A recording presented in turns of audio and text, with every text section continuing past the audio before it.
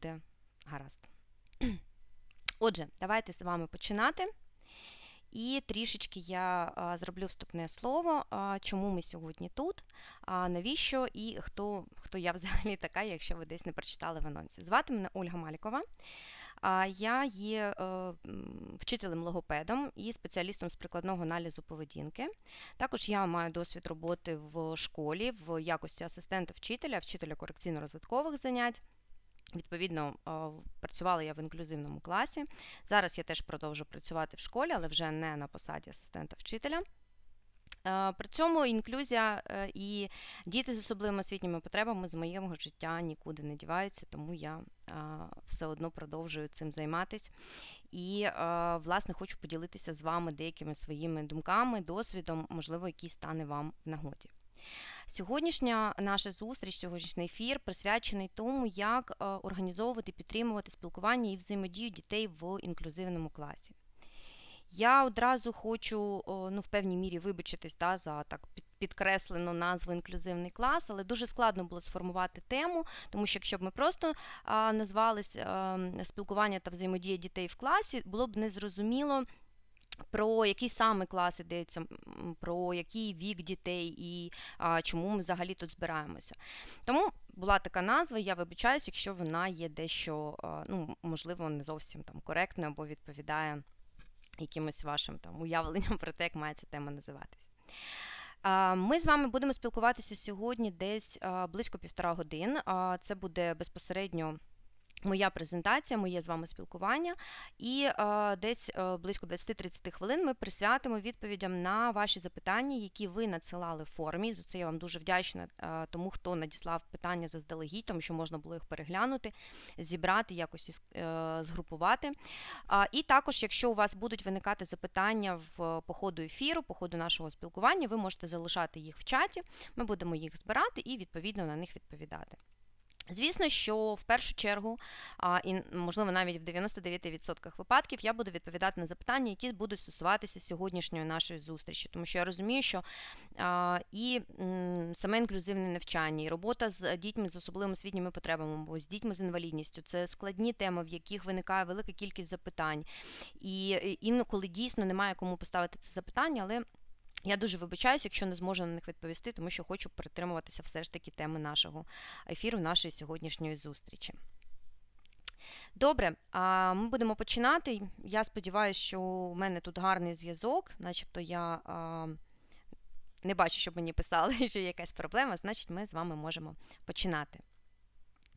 І я би хотіла одразу зазначити, чому важливо піднімати цю тему да, спілкування дітей з особливими освітніми потребами з їхніми ровесниками, взагалі налагодження роботи е, зі спілкування і взаємодії дітей в класі.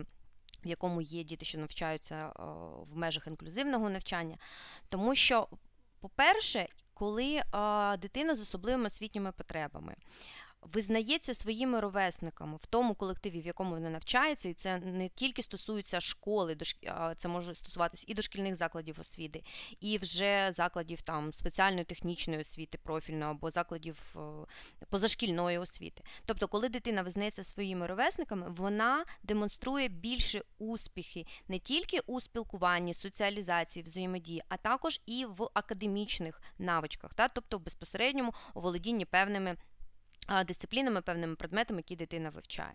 Тобто є пряма кореляція, є достатньо досліджень, які це підтверджують, що а, саме прийняття ровесниками, саме така колективна успішність, вона відбувається в тому числі і на а, а, успішній навчальній діяльності. Також я б хотіла зазначити, що діти з особливими освітніми потребами можуть мати труднощі з ініціацією і підтриманням спілкування з ровесниками. Тобто, якщо ми говоримо про дітей з типовим розвитком, скажімо так, вони е, з самого раннього віку починають навчатися, як встановлювати взаємозв'язки з соціумом, яких оточує, з дорослими, з дітьми, навчаються вирізняти, з ким які теми варто обговорювати, з ким як потрібно спілкуватися, хто їм більше подобається, хто їм менше подобається діти з особливими освітніми потребами часто. Мають, по-перше, самі по собі порушення у спілкуванні в комунікації, і це може бути зумовлене і мовленнєвими порушеннями, і певними поведінковими особливостями, і розладами у соціальній взаємодії комунікації. А також діти з особливими освітніми потребами часто до того, як потрапляють в дитячий колектив, мають все ж таки звужене коло спілкування. Родини, які виховують таких дітей, вони стикаються з тим, що соціум не завжди готовий приймати їх і їхніх дітей, що родини з іншими дітьми, да, з типовим розвитком не завжди готові підтримувати спілкування таке, і тому ми маємо да, таку проблему, і нам треба з нею щось робити вже безпосередньо в закладі освіти. Є й друга, е, не друга, точніше, а інша сторона цієї медалі, коли ровесники з типовим розвитком вони бачать дитину з інвалідністю або дитину з певними особливими освітніми потребами, помічають ці відмінності, вони можуть відмовлятися від спілкування і взаємодії, але не через наприклад, те, що вони не виховані, нечемні, злі, недобрі діти, а через те, що вони мають недостатньо інформації, як спілкуватись. Можливо, вони не володіють навичками іншого, окрім словесного спілкування. А, Можливо, в них був попередній негативний досвід, або е, вони володіють якоюсь викривленою інформацією, яка могла потрапити до них від інших дітей, від батьків, десь з телебачення, десь із якихось. Засобів масової інформації або соціальних мереж. І тому вони відмовляються да, просто від спілкування, їм простіше, так, ніж шукати якісь шляхи і знаходити можливості для такого спілкування. Окремо треба виділяти таку категорію дітей, які не можуть спілкуватися словесно, але вони все одно хочуть спілкуватися і вони мають право на взаємодію, на спілкування з ровесниками в якийсь інший спосіб, аніж словесний. Окрім цього, дана тема нам важлива для того, щоб ми мали змогу розпочати цю роботу від самого початку, тобто ми зараз говоримо про школу, тому умовно від 1 вересня 1 класу, і таким чином йти на випередження майбутніх можливих конфліктів між дітьми. Причому це зараз не стосується конфліктів за участю дітей з особливими освітніми потребами. Це стосується всіх дітей класу. Ми йдемо на випередження цькування, на випередження будь-яких проявів булінгу, і потім на необхідність вирішувати ці проблеми, вирішувати ці конфлікти. І для нас, як для педагогів, вчителів, асистентів, вчителів, психологів, соціальних педагогів, ви можете собі відмітити да, ту категорію, до якої ви відноситеся. Важливо розуміти, що саме по собі спілкування просто через те, що дитина з особливими освітніми потребами приходить в колектив, часто може не відбуватись. І ми, як педагоги, маємо напрацювати в собі практику організації, практику підтримки цього спілкування. Ми маємо і працювати з особливою дитиною, з дитиною з особливими освітніми потребами, навчати її спілкуванню, підтримувати, підказувати, допомагати, і працювати з дітьми всього класу для того, щоб в нас створювався дружній колектив, для того, щоб в нас колектив формувався на принципах взаємоповаги, прийняття один одного врахування потреб і можливостей інших людей, які знаходяться поруч з тобою. І так, що ж нам потрібно робити? Давайте да, одразу так з місця в, е, кар'єр від такого теоретичного вступу до е, певних практичних дій. Я буду намагатися якомога більше вам наводити, і я це зробила і на слайдах, і просто в, своєму в своїй розмові, да, в, е, в своїй промові. Буду намагатися наводити як, вам якомога більше прикладів того, як потрібно організовувати або підтримувати спілкування і взаємодію. І перше, з чого ми починаємо, це такий підготовчий етап, і це дії педагогів, дії е, вчителя, асистента вчителя. До цього може залучатися і практичний психолог, і будь-які інші педагоги, які а, працюють або будуть працювати в класі з інклюзивною, з інклюзивним навчанням. Тобто, що а, мають зробити педагоги? Перше, це зібрати інформацію. І, звісно, що найпростіший Найпростіше і найдоступніше джерело отримання інформації це батьки і сам учень з особливими освітніми потребами. Тому варто до початку навчального процесу, до 1 вересня, провести зустрічі з батьками дітей з особливими освітніми потребами, з самими учнями, створити ситуацію, коли вчитель, педагог може повзаємодіяти з учнем. Е, це може бути якесь ігрове спілкування, це може бути навіть якась імітація ну, заняття або уроку, да? тобто щось поробити разом, можливо, там щось написати, десь щось прочитати, переглянути якісь підручники, малюнки, книжки і так далі. І е, я би радила педагогам е, попросити батьків надати їм своєрідне портфоліо учня. Це не те портфоліо, яке ми використовуємо в якості оцінювання дитини під час навчального процесу, як один із елементів оцінювання.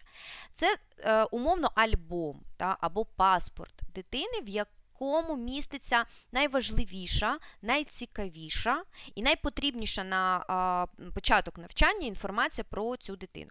Як і що може бути в цьому портфоліо, ми поговоримо в наступному слайді, тому зараз зробимо таку е, кому поставимо. Далі, що мають зробити педагоги до того, як розпочнеться навчання? Обов'язково з'ясувати, якщо вони цим ще не володіють, які ми маємо використовувати коректні назви, які слова або терміни будуть працювати як навішування ярликів, яких е, висловів нам потрібно уникати для того, щоб не образити безпосередньо саму дитину, не образити е, її батьків, і також не сформувати у дітей класу оцей неправильний неймінг, да, неправильну термінологію. Що варто, да, на що варто звернути увагу? Перше, це просто, знаєте, збірник таких найчастіших помилок, які от я зустрічаю або зустрічають мої колеги, і ми е, під час спілкування ділимося цим один з одним. Будь-які зменшувально писливі форми, або якісь форми, які похідні від назв діагнозу, розладу, порушення, такі як аутик, даунятко, візочник, глухенький, даун, аутист. Та? Тобто це є некоректним неймінгом, це є неприйнятною назвою для такої людини ні в її присутності, ні, як то кажуть, поза очі, та? тобто коли ця людина зараз не присутня. Особливо варто уникати використання ізольованих прикметників, коли ми говоримо про дитину.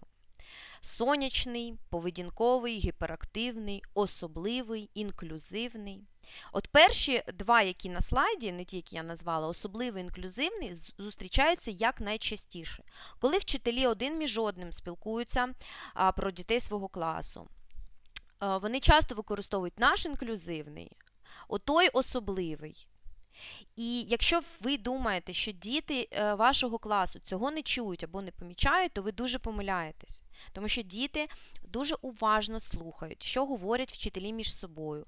Вони зустрічають вчителів в коридорі і тихенько слухають, про що спілкуються вчителі. Їм це цікаво, ну, можна назвати це підслуховують. І вони переймають цю назву.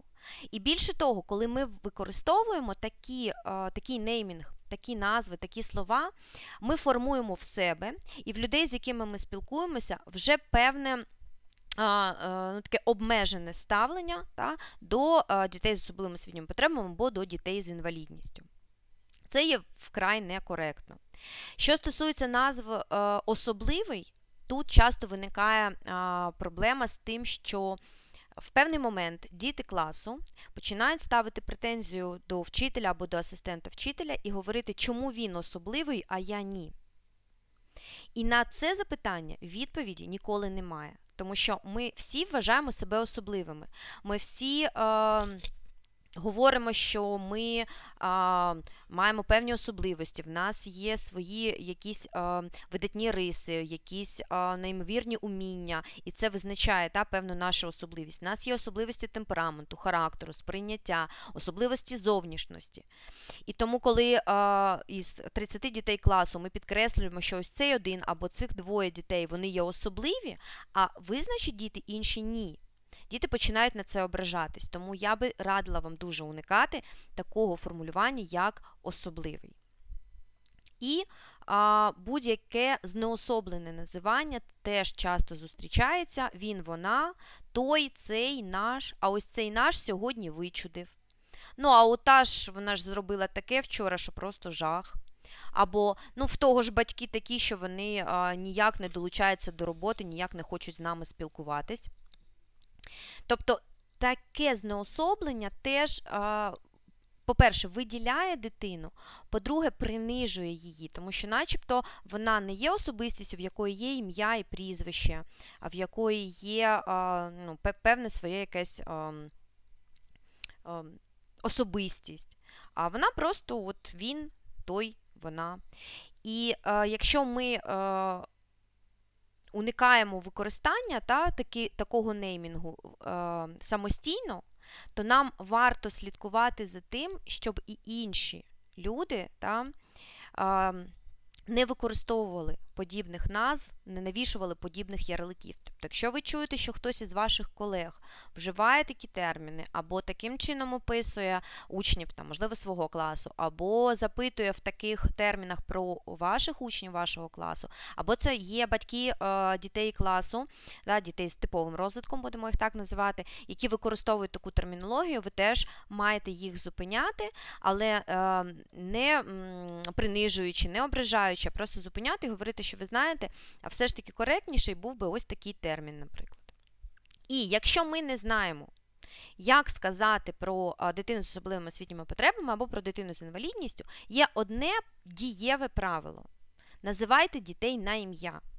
Або на ім'я і прізвище, тому що в класі може бути декілька дітей з однаковим іменем. Та? Тобто може бути не одна Оля, а їх може бути дві, тому ми будемо говорити, що це Оля Іванова, а це буде Оля Малікова тоді ми ніколи не потрапимо в ситуацію, що своїми висловами ми зможемо образити дитину, або ми зможемо сформулювати, сформувати, вибачте, у інших дітей оцей некоректний неймінг, некоректне вживання термінів. Далі, що має ще зробити педагог? А, Запланувати, підготуватися до того, яким чином буде відбуватися інформування батьків всіх учнів про те, що таке інклюзивний клас, або взагалі, можливо, що таке інклюзія, які є ролі педагогів класу, вчителя, асистента вчителя або всіх вчителів, якщо є ж у нас вчителі-предметники, у підтримці всіх учнів. Я хочу підкреслити, не саме конкретно цих дітей, а всіх учнів. Тобто батьки, які приводять своїх дітей до школи, можуть абсолютно нічого не знати про інклюзію про особливості організації інклюзивного класу, наприклад, що там є асистент вчителя, або що може бути присутня ще одна людина, як асистент дитини, яка буде супроводжувати дитину з особливими освітніми потребами. Для них це все є нове, і відповідно те, що для нас є нове, воно, воно нас лякає, ми намагаємося його уникнути. Тому це саме завдання для вчителя підготуватися і інформувати. Причому не говорити про те, що о, тепер у нас такий клас. І ви знаєте, тепер у нас будуть навчатись такі діти. Ми не говоримо, да, ми пам'ятаємо, що ми не говоримо такі діти. Так, я вибачаюсь, мені пишуть, що в мене зникло з'єднання. Я сподіваюся, що мені зараз напишуть, що моє з'єднання відновилося. І ми зможемо продовжувати трансляцію. Хоча, якщо у вас йде з затримкою, то це буде зараз дуже а, кумедно виглядати. Наша затримка. Так, все, зв'язок повернувся. Я вибачаюсь, але е, ви ж розумієте, що є техніка, є інтернет-провайдер, і не все залежить від нас. Начебто я вже все, що від мене залежить, зробила, щоб був якісний зв'язок. Але, на жаль, бувають такі певні е, труднощі із зв'язком. Так от. Е, ми говоримо про інформування, інформування батьків всіх учнів класу про те, що таке інклюзив, інклюзія, що таке інклюзивний клас, які ролі педагогів. Ми обов'язково з'ясовуємо для себе і повідомляємо іншим, що є певні правила конфіденційності. Наприклад, ми не маємо права розголошувати діагноз дитини, якщо це не роблять там власноруч батьки, які, наприклад, не приховують та, цього. Ми не маємо права обговорювати якісь певні особливості дитини, можливо, це якісь терапії або втручання, які отримує дитина, чи приймає дитина якісь медичні препарати. Так? Тобто це все є конфіденційною інформацією, і ми не маємо права її розголошувати.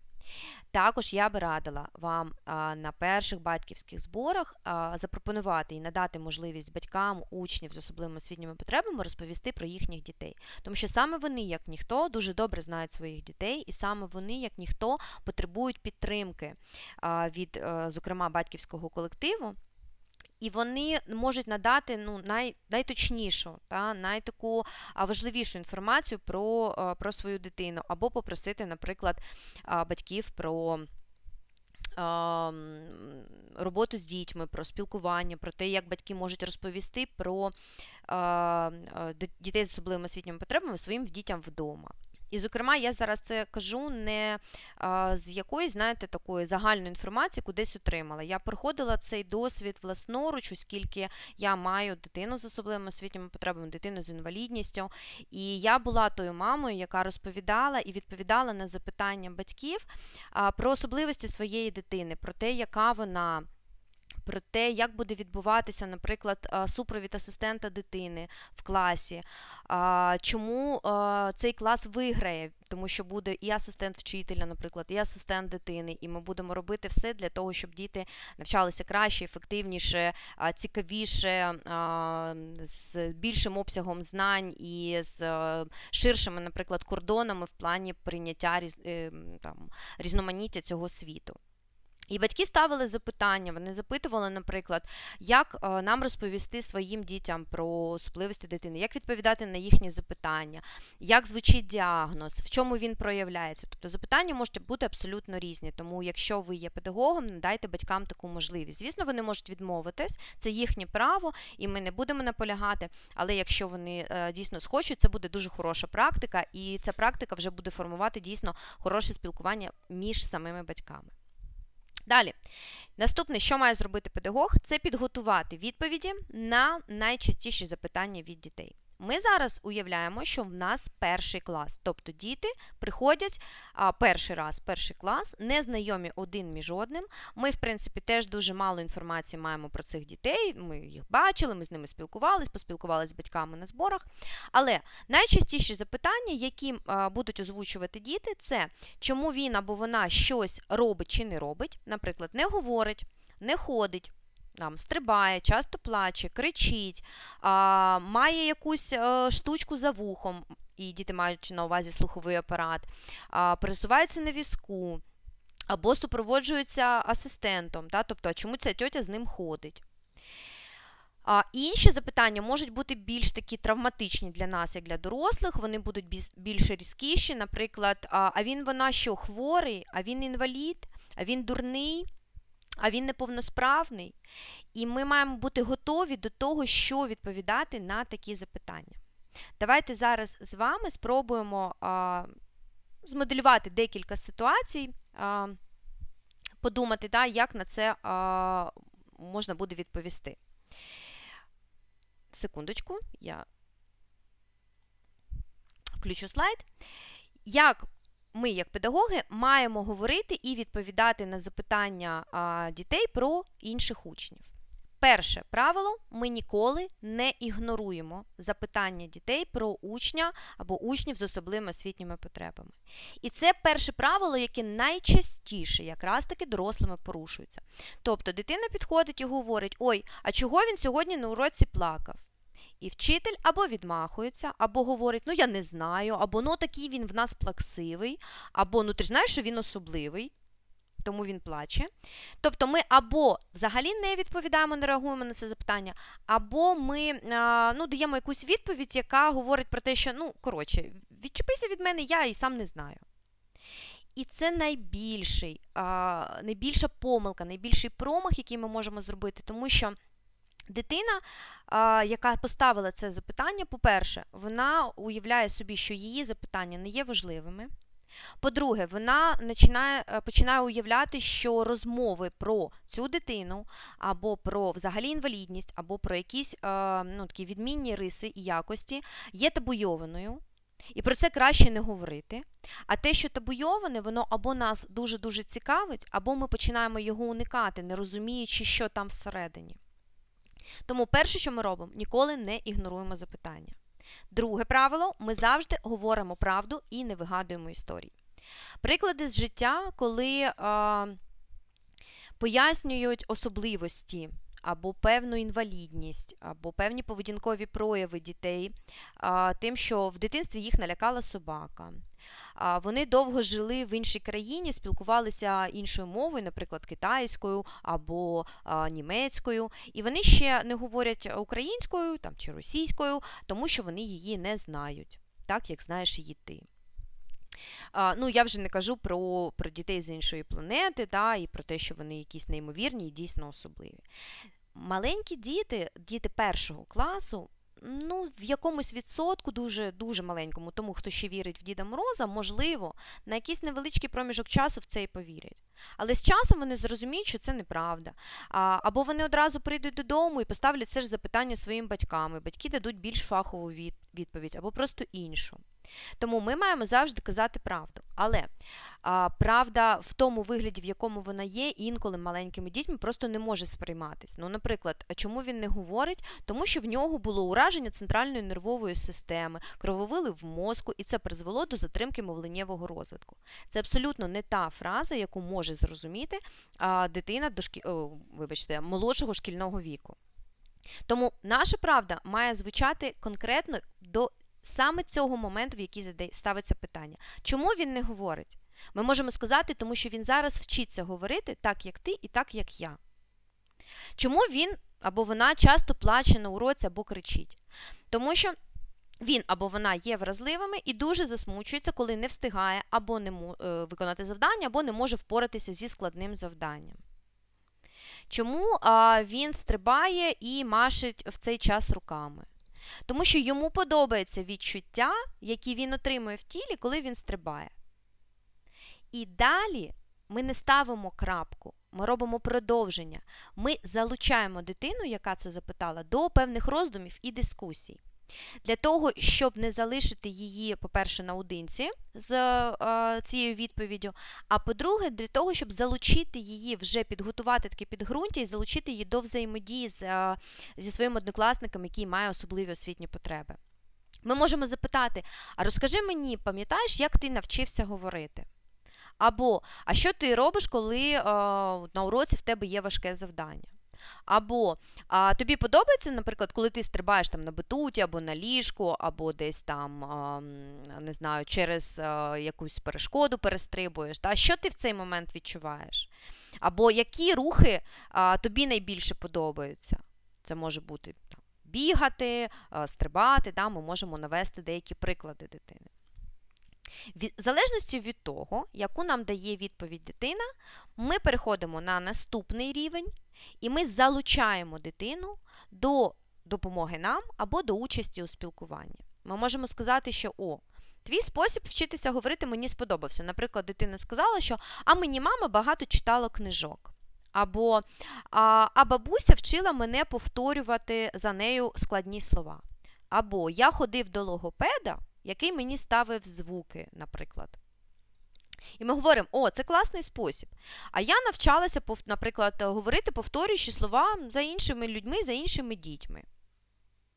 А ти не міг, не міг би мені допомогти і показати один із цих способів, да, про який сказала дитина а, нашому учневі, можливо, в тебе вийде да, покращити його навички говоріння. Або, якщо це про а, те, що дитина плаче або засмучується під час уроків, та, або кричить і демонструє якусь поведінку.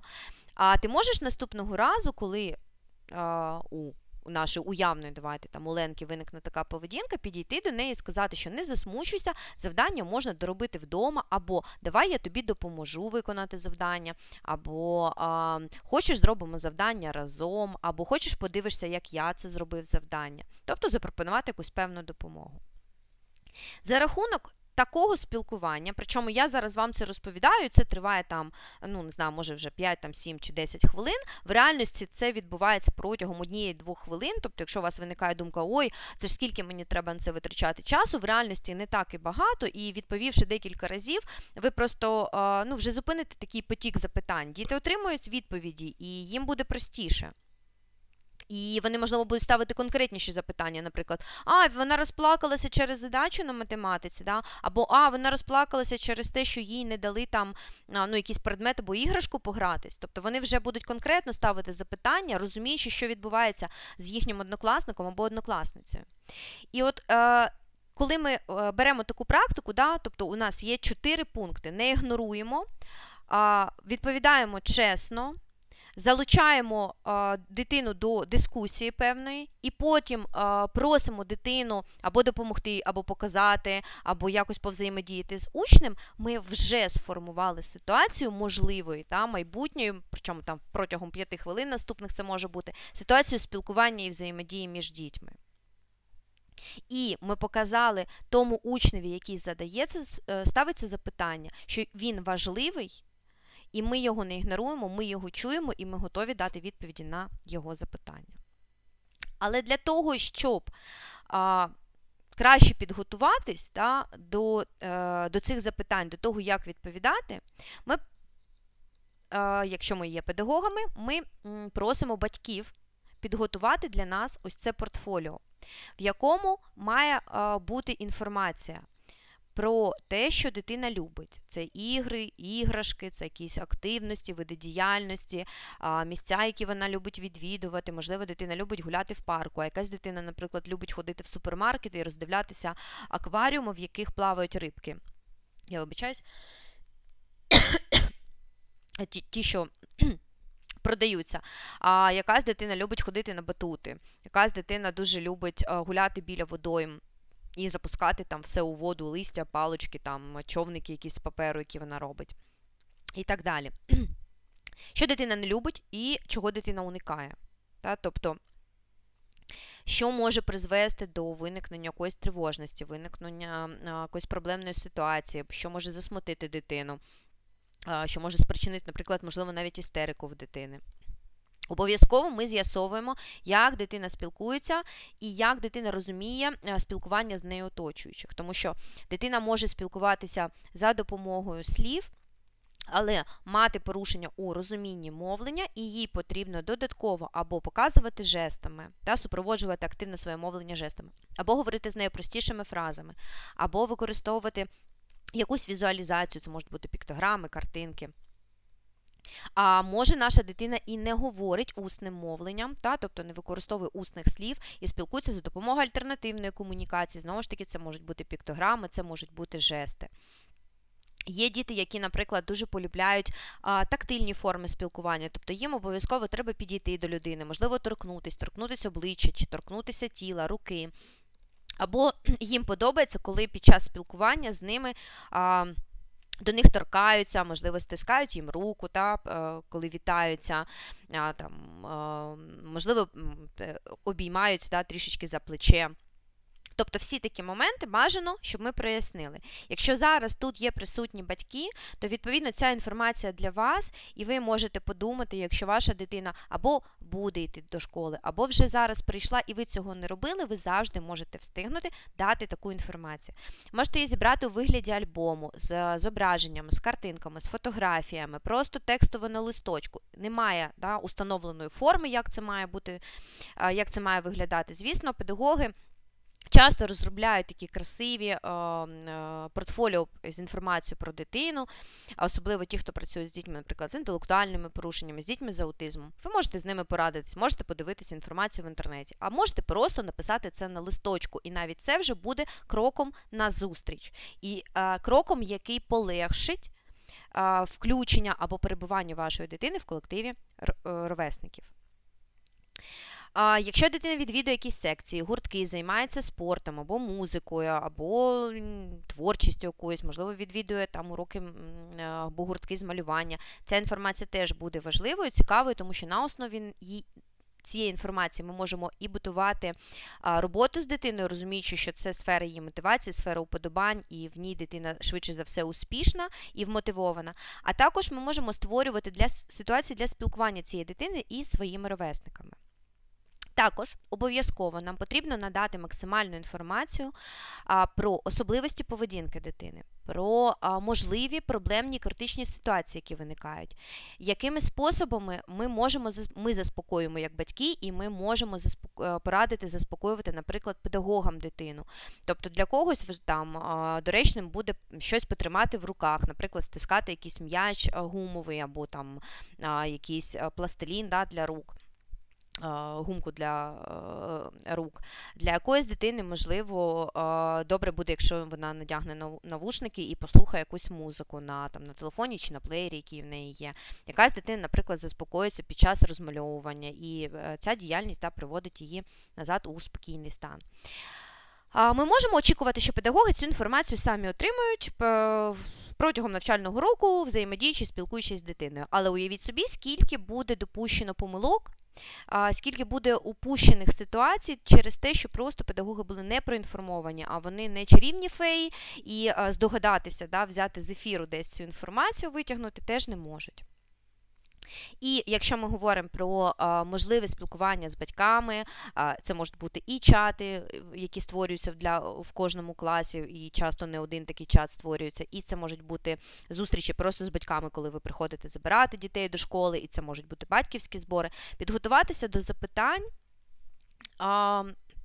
Які ми проговорили, да, про про вашу дитину, про її особливості, про її форму спілкування, а, про її потреби, про її можливості, про її характер, про якісь не знаю, визначні риси або а, сфери інтересів, або уподобання, тобто щось цікаве.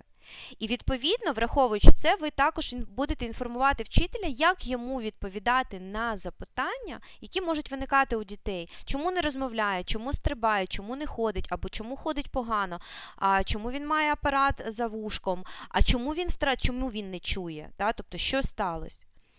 Ви, якщо ви, от я зараз звертаюся до батьків. Ви, як ніхто, знаєте правильні, коректні, прийнятні відповіді на ці запитання. Якщо зараз мене слухають тільки педагоги, то ви, як педагоги, не отримують, не отримавши таку інформацію від батьків, можете поставити їм конкретне запитання. Це буде фундамент, який ви закладете для того, щоб створювати ефективні і влучні да, і часті ситуації спілкування між дітьми. Тепер, якщо ми говоримо взагалі про е, організацію спілкування між дітьми, то ми маємо розуміти, що це спілкування має відбуватись якомога частіше. І е, оскільки в нас е, за нашою системою освіти дуже короткі перерви, тобто той час безпосередній для спілкування дітей, ми маємо створювати постійну ситуацію спілкування і взаємодії дитин один із одним. І я зараз вам покажу декілька щоденних практик, які можна використовувати протягом року, хоч кожен день, хоч раз на тиждень, хоч раз на два тижні, для того, щоб підтримувати спілкування дітей один з одним. І перший найдієвіший спосіб це анкетування. Якщо тут зараз є хтось, не знаю, старше, можливо, 30 років, ви е, можете згадати в своєму дитинстві, як ми заводили щоденники спілкування, е, щоденники анкетування, в яких ставили запитання своїм друзям, вони нам заповнювали. Там були різні відповіді, і твій улюблений колір, і як звати твого домашнього улюбленця, і твій улюблений там співак або співачка, фільм. Місце, твій улюблений однокласник або однокласниця, якщо це був старший вік, то в кого ти закоханий.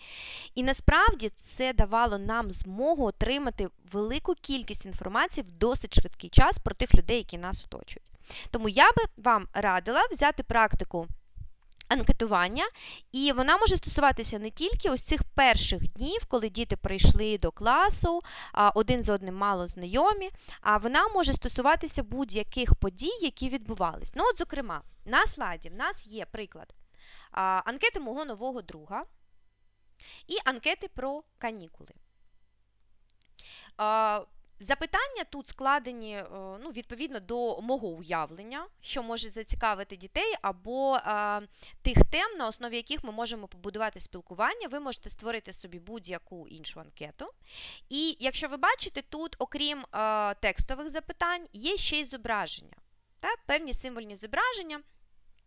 Для того, щоб, якщо а, у нас діти маленькі, які ще не вміють читати, їм було простіше зрозуміти, про що йде запитання, ми їм можемо озвучити, і за рахунок зображень вони запам'ятають, про що це запитання.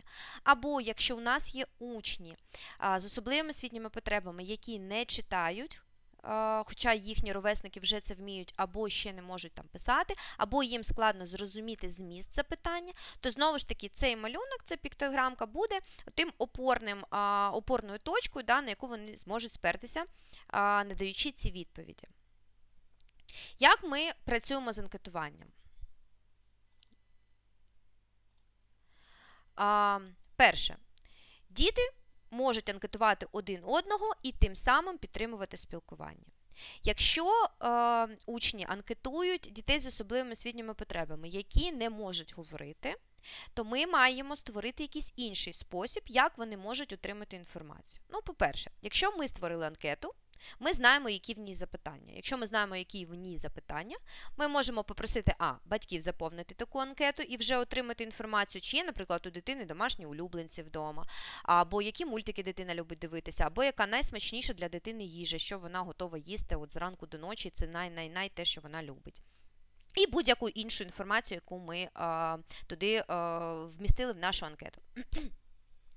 Далі, ми можемо підготувати презентацію з відповідями. Тобто учень з особливими освітніми потребами, який не може говорити, він зможе відповідати зображеннями з цієї презентації. Наприклад, відповідь на запитання, чи є в тебе домашній улюбленець, він може показати зображення своєї собачки і з підписом, як звати домашнього улюбленця, та, або акваріум з рибками, і вже без імен, якщо у рибок немає імен. Яка твоя улюблена страва? Так само це може бути зображення. І відповідати на анкетування іншої дитини учневі з особливими освітніми потребами зможе або асистент, або безпосередньо сам вчитель. Далі. Ми зібрали інформацію, діти, причому ви ж розумієте, що якщо у нас клас 28-30 дітей, то проанкетувати там навіть за один урок діти один одного не зможуть. Тому ми на це виділяємо якийсь певний час. Наприклад, це буде тиждень да, або два тижні, коли діти один одного у вільний час, колись на уроці десь в кінці залишився час, колись на перерві, десь під час якихось виховних заходів, та, вони зможуть один одного анкетувати. І далі ми можемо поставити дітям завдання або запропонувати діяльність, коли вони будуть розповідати, але не самі про себе, а про когось із своїх однокласників. Таким чином, діти фіксують інформацію і вони розуміють, що кожен з дітей в класі є членом колективу, їх об'єднує в даний момент. А, перше, що їх об'єднує, да, єдине, це клас, в якому вони навчаються. В них є вже певна спільна риса. Да, Вони навчаються в першому А, першому Б, там, четвертому Г і так далі. Далі, після цього вчитель може Е, групувати дітей для певної роботи. Да? Ми знаємо, що е, вчителі часто використовують е, принципи групової роботи, це може бути парна робота, або це може бути поділ на невеликі групи, або невеликі групи. Вже за тими особливостями, за тими уподобаннями, отут якраз доречно вживати слово особливості, які отримані з цих анкет. У нас можуть бути власники хатніх тваринок або власники рибок, в нас можуть бути фанати математики, в нас можуть бути ті, хто обожнюють чіпси більш за все на світі фанати піци. І а, використовуючи цю інформацію, ми можемо створювати ситуації для спілкування дітей або для якоїсь певної проєктної діяльності, яку діти а, виконують разом. Наприклад, ми можемо поділити дітей на групи для того, щоб вони створили проєкт, як я провів літні канікули, або якісь канікули зимові. І е, діти, які кудись їздили, наприклад, це буде одна група, діти, які активно гуляли в лісі або ліпили сніговики, буде інша група, діти, які е, займалися і вчилися вдома, наганяли програму, це буде третя група, діти, які подивилися якийсь новий мультик або фільм, що тільки що вийшов, це буде четверта група. І вони можуть колективно про це зробити якусь розповідь, якийсь проєкт, який, якусь доповідь, намалювати малюнок і так далі. І вони будуть об'єднані одним і тим самим інтересом, і таким чином ми показуємо, що ми особливі, всі, кожен з нас, за своїми певними уподобаннями, можливостями. Місцями, які ми відвідуємо, улюбленими видами діяльності, улюбленими мультиками або музикою чи певними виконавцями, яких ми слухаємо. І ми можемо на прикладі так, я вибачаюсь, в мене пропало з'єднання. Зараз я сподіваюся, що воно а, відновиться.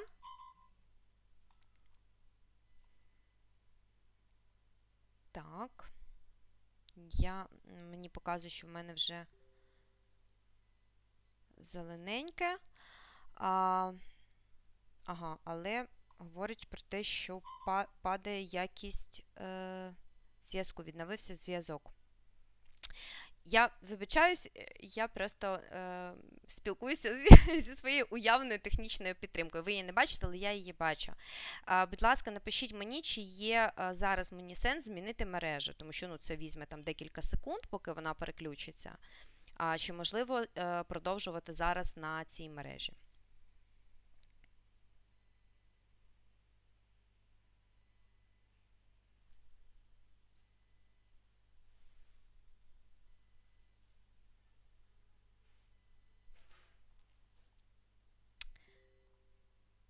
Добре, я е, вибачаюсь, зараз я на хвилиночку пропаду із зв'язку, тому що я е, зміню мережу для того, щоб було нам комфортніше спілкуватись.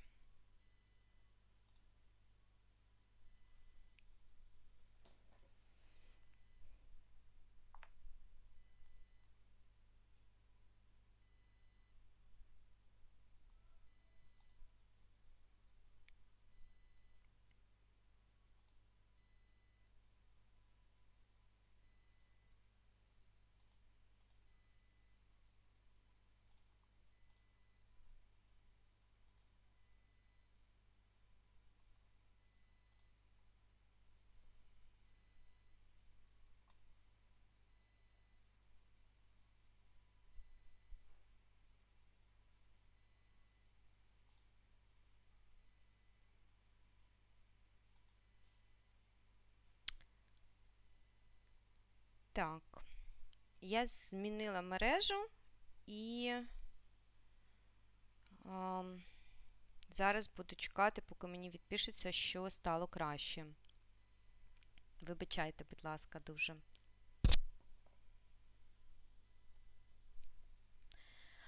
Ох.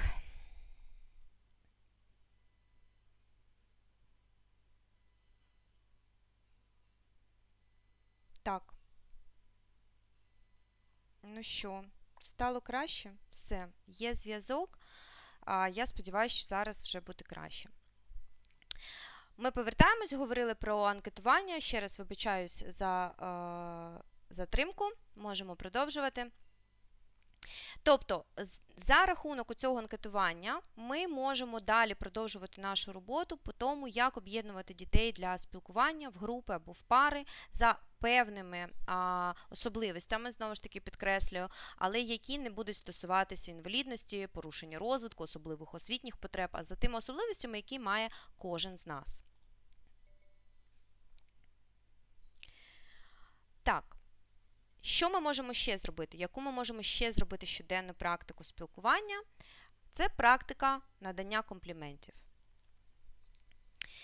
Е, кожного дня вчитель обирає декілька учнів, які мають зробити комплімент декільком іншим учням, або безпосередньо самому вчителеві, або асистенту. І я би радила вам теж доєднуватися до цієї діяльності. Ви теж маєте періодично, наприклад, обирати е, декількох дітей і робити їм компліменти або казати якісь приємні слова. І тут хочу поділитися з вами декількома лайфхаками, які будуть стосуватися не тільки саме. Так, я вибачаюсь, мені говорять про те, що потрібно повернути попередню мережу. Секундочку.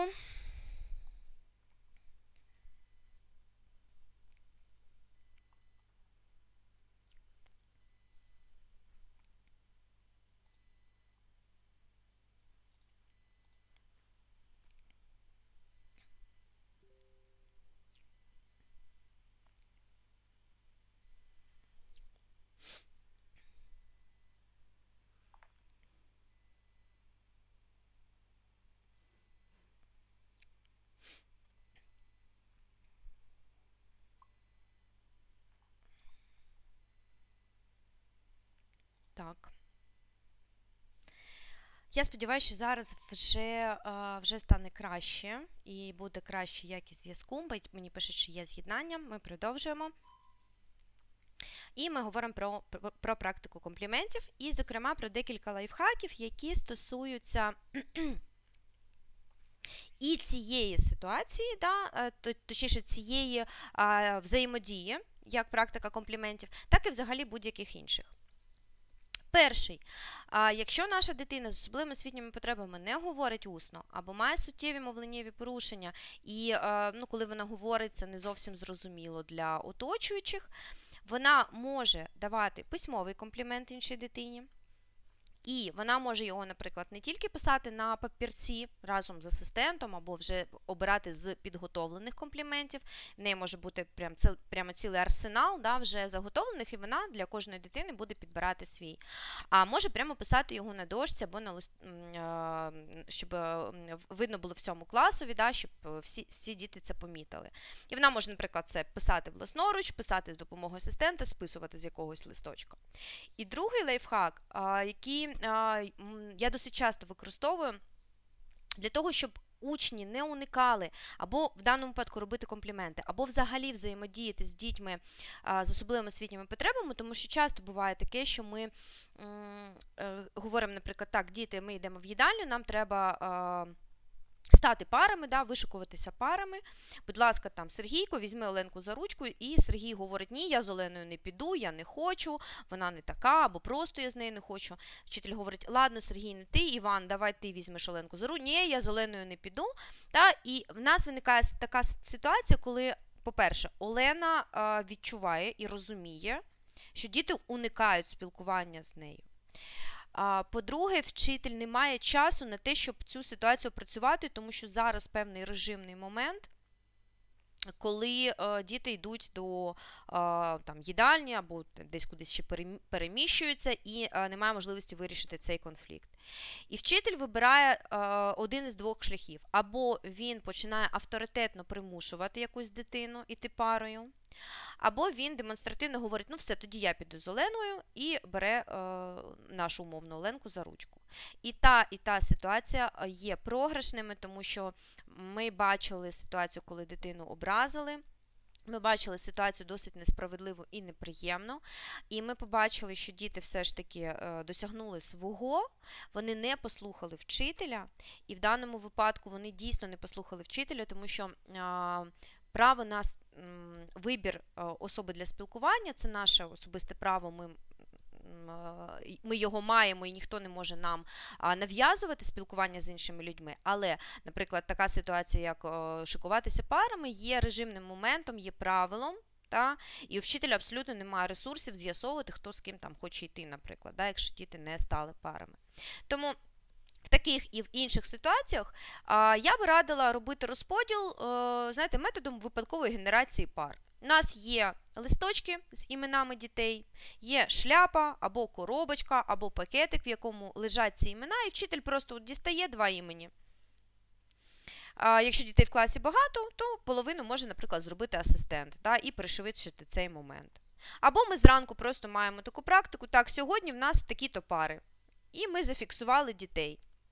І ми не робимо з цього потім обговорення, ми не робимо з цього вмовляння інших дітей. Ну, будь ласка, візьми Оленочку за руку, вона ж така гарна, бо їй потрібна допомога. Ми просто фіксуємо, що от сьогодні в нас так такі пари, а наступного дня будуть інші. І це спрацьовує не тільки на а, взаємодію з дітьми з особливими освітніми потребами. В нас в класі можуть бути і інші учні, які з, з якихось причин, а, наприклад, менше виділяються своїми ровесниками, ровесники з ними менше спілкуються. Це можуть бути діти з малозабезпечених родин, це можуть бути діти, які мають якісь свої певні теж особливості, наприклад, вони занадто сором'язливі, вони менш активні у спілкуванні, і, відповідно, однокласники ну, не беруть їх в ігри, менше з ними спілкуються. Але потреби в спілкуванні є в кожного, і потреба бути визнаним і прийнятим в колективі є в кожного з нас. Тому ось таким чином можна робити цю практику. Наступне. Практика, яка теж дуже добре працює на дітей і формує у дітей якраз якості бачити кращі риси інших людей, бачити успіх інших людей. Це надання одно, е, учням ролі вчителя у наданні зворотнього зв'язку або навіть е, виставленні умовної оцінки. Та? Тобто, зазвичай це е, краще робити на уроках образоточого мистецтва, трудового навчання, або там, де є якась проєктна діяльність, і в нас є певний результат е, роботи. Знову ж таки, в сьогоднішній день вчитель обирає одного або декількох учнів, які коментують роботу декількох своїх однокласників. І під час цього вчитель навчає дітей, як надавати оцей умовно зворотній зв'язок. Тобто, що для того, щоб е, прокоментувати да, діяльність або результат діяльності іншої людини, нам спочатку треба е, визначити, що було дуже класним, що було дуже красивим, що тобі найбільше сподобалось, що ти помітив, або що абсолютно відповідає умовам завдання, яке треба було зробити. Або, можливо, тобі сподобалось, якщо це малюнок, або ось такі, е, я думаю, що це цибульки, підбір кольорів, або вирази їхнього обличчя, або е, не знаю, форма голови цієї цибулинки. Тобто, що тобі сподобалось? І якщо діти вже старшого віку, ми можемо додавати туди елементи конструктивної критики, наприклад, а наступного разу було би варто, ось давайте візьмемо приклад цих цибулинок які в нас на слайді, варто було би а, додати їм а, чорні цяточки на очах, да, щоб зробити начебто зіниці, і щоб очі були більш виразнішими. Тобто ми не критикуємо, ми не говоримо, що це жахливо, це некрасиво. Та? Ми додаємо, о, наступного разу, слухай, давай зробиш так, або дивись, а я отак зробив в своїй цибулинці там ніжки, і вона краще стоїть, наприклад, на на столі, да, бо я поставив їм палички. Таким чином, діти вчаться знову ж таки підтримці один одного і взаємоповазі та і в такому дружньому взаємному спілкуванні. Якщо зараз, бо я не можу поки що подивитися чат, е, що ви пишете, або як ви на це реагуєте, у когось виникають запитання про те, що ой, так це ж е, правила спілкування просто взагалі дітей класу, то так дійсно і є. Тому що те, що в нас в класі навчається дитина з особливими освітніми потребами, абсолютно не відміняє того, що це А, дитячий колектив, Б, це колектив певного віку. Це ми повинні працювати над тим, щоб формувати дружній колектив. Ми як вчителі, ми як педагоги. І е, взаємоповага стосується не тільки людей з інвалідністю або людей з особливими освітніми потребами. Вона стосується кожного з нас. Ми маємо поважати інших людей довкола себе, і ми тоді зможемо вимагати і повагу до е, власне до себе та до якоїсь нашої певної особистості. Тому принципи ці вони взагалі ну, ніякі не інклюзивні, не спеціальні і не особливі. Вони звичайні. Але мій досвід і досвід моїх колег говорить про те, що таких практик використовується в школах дуже мало.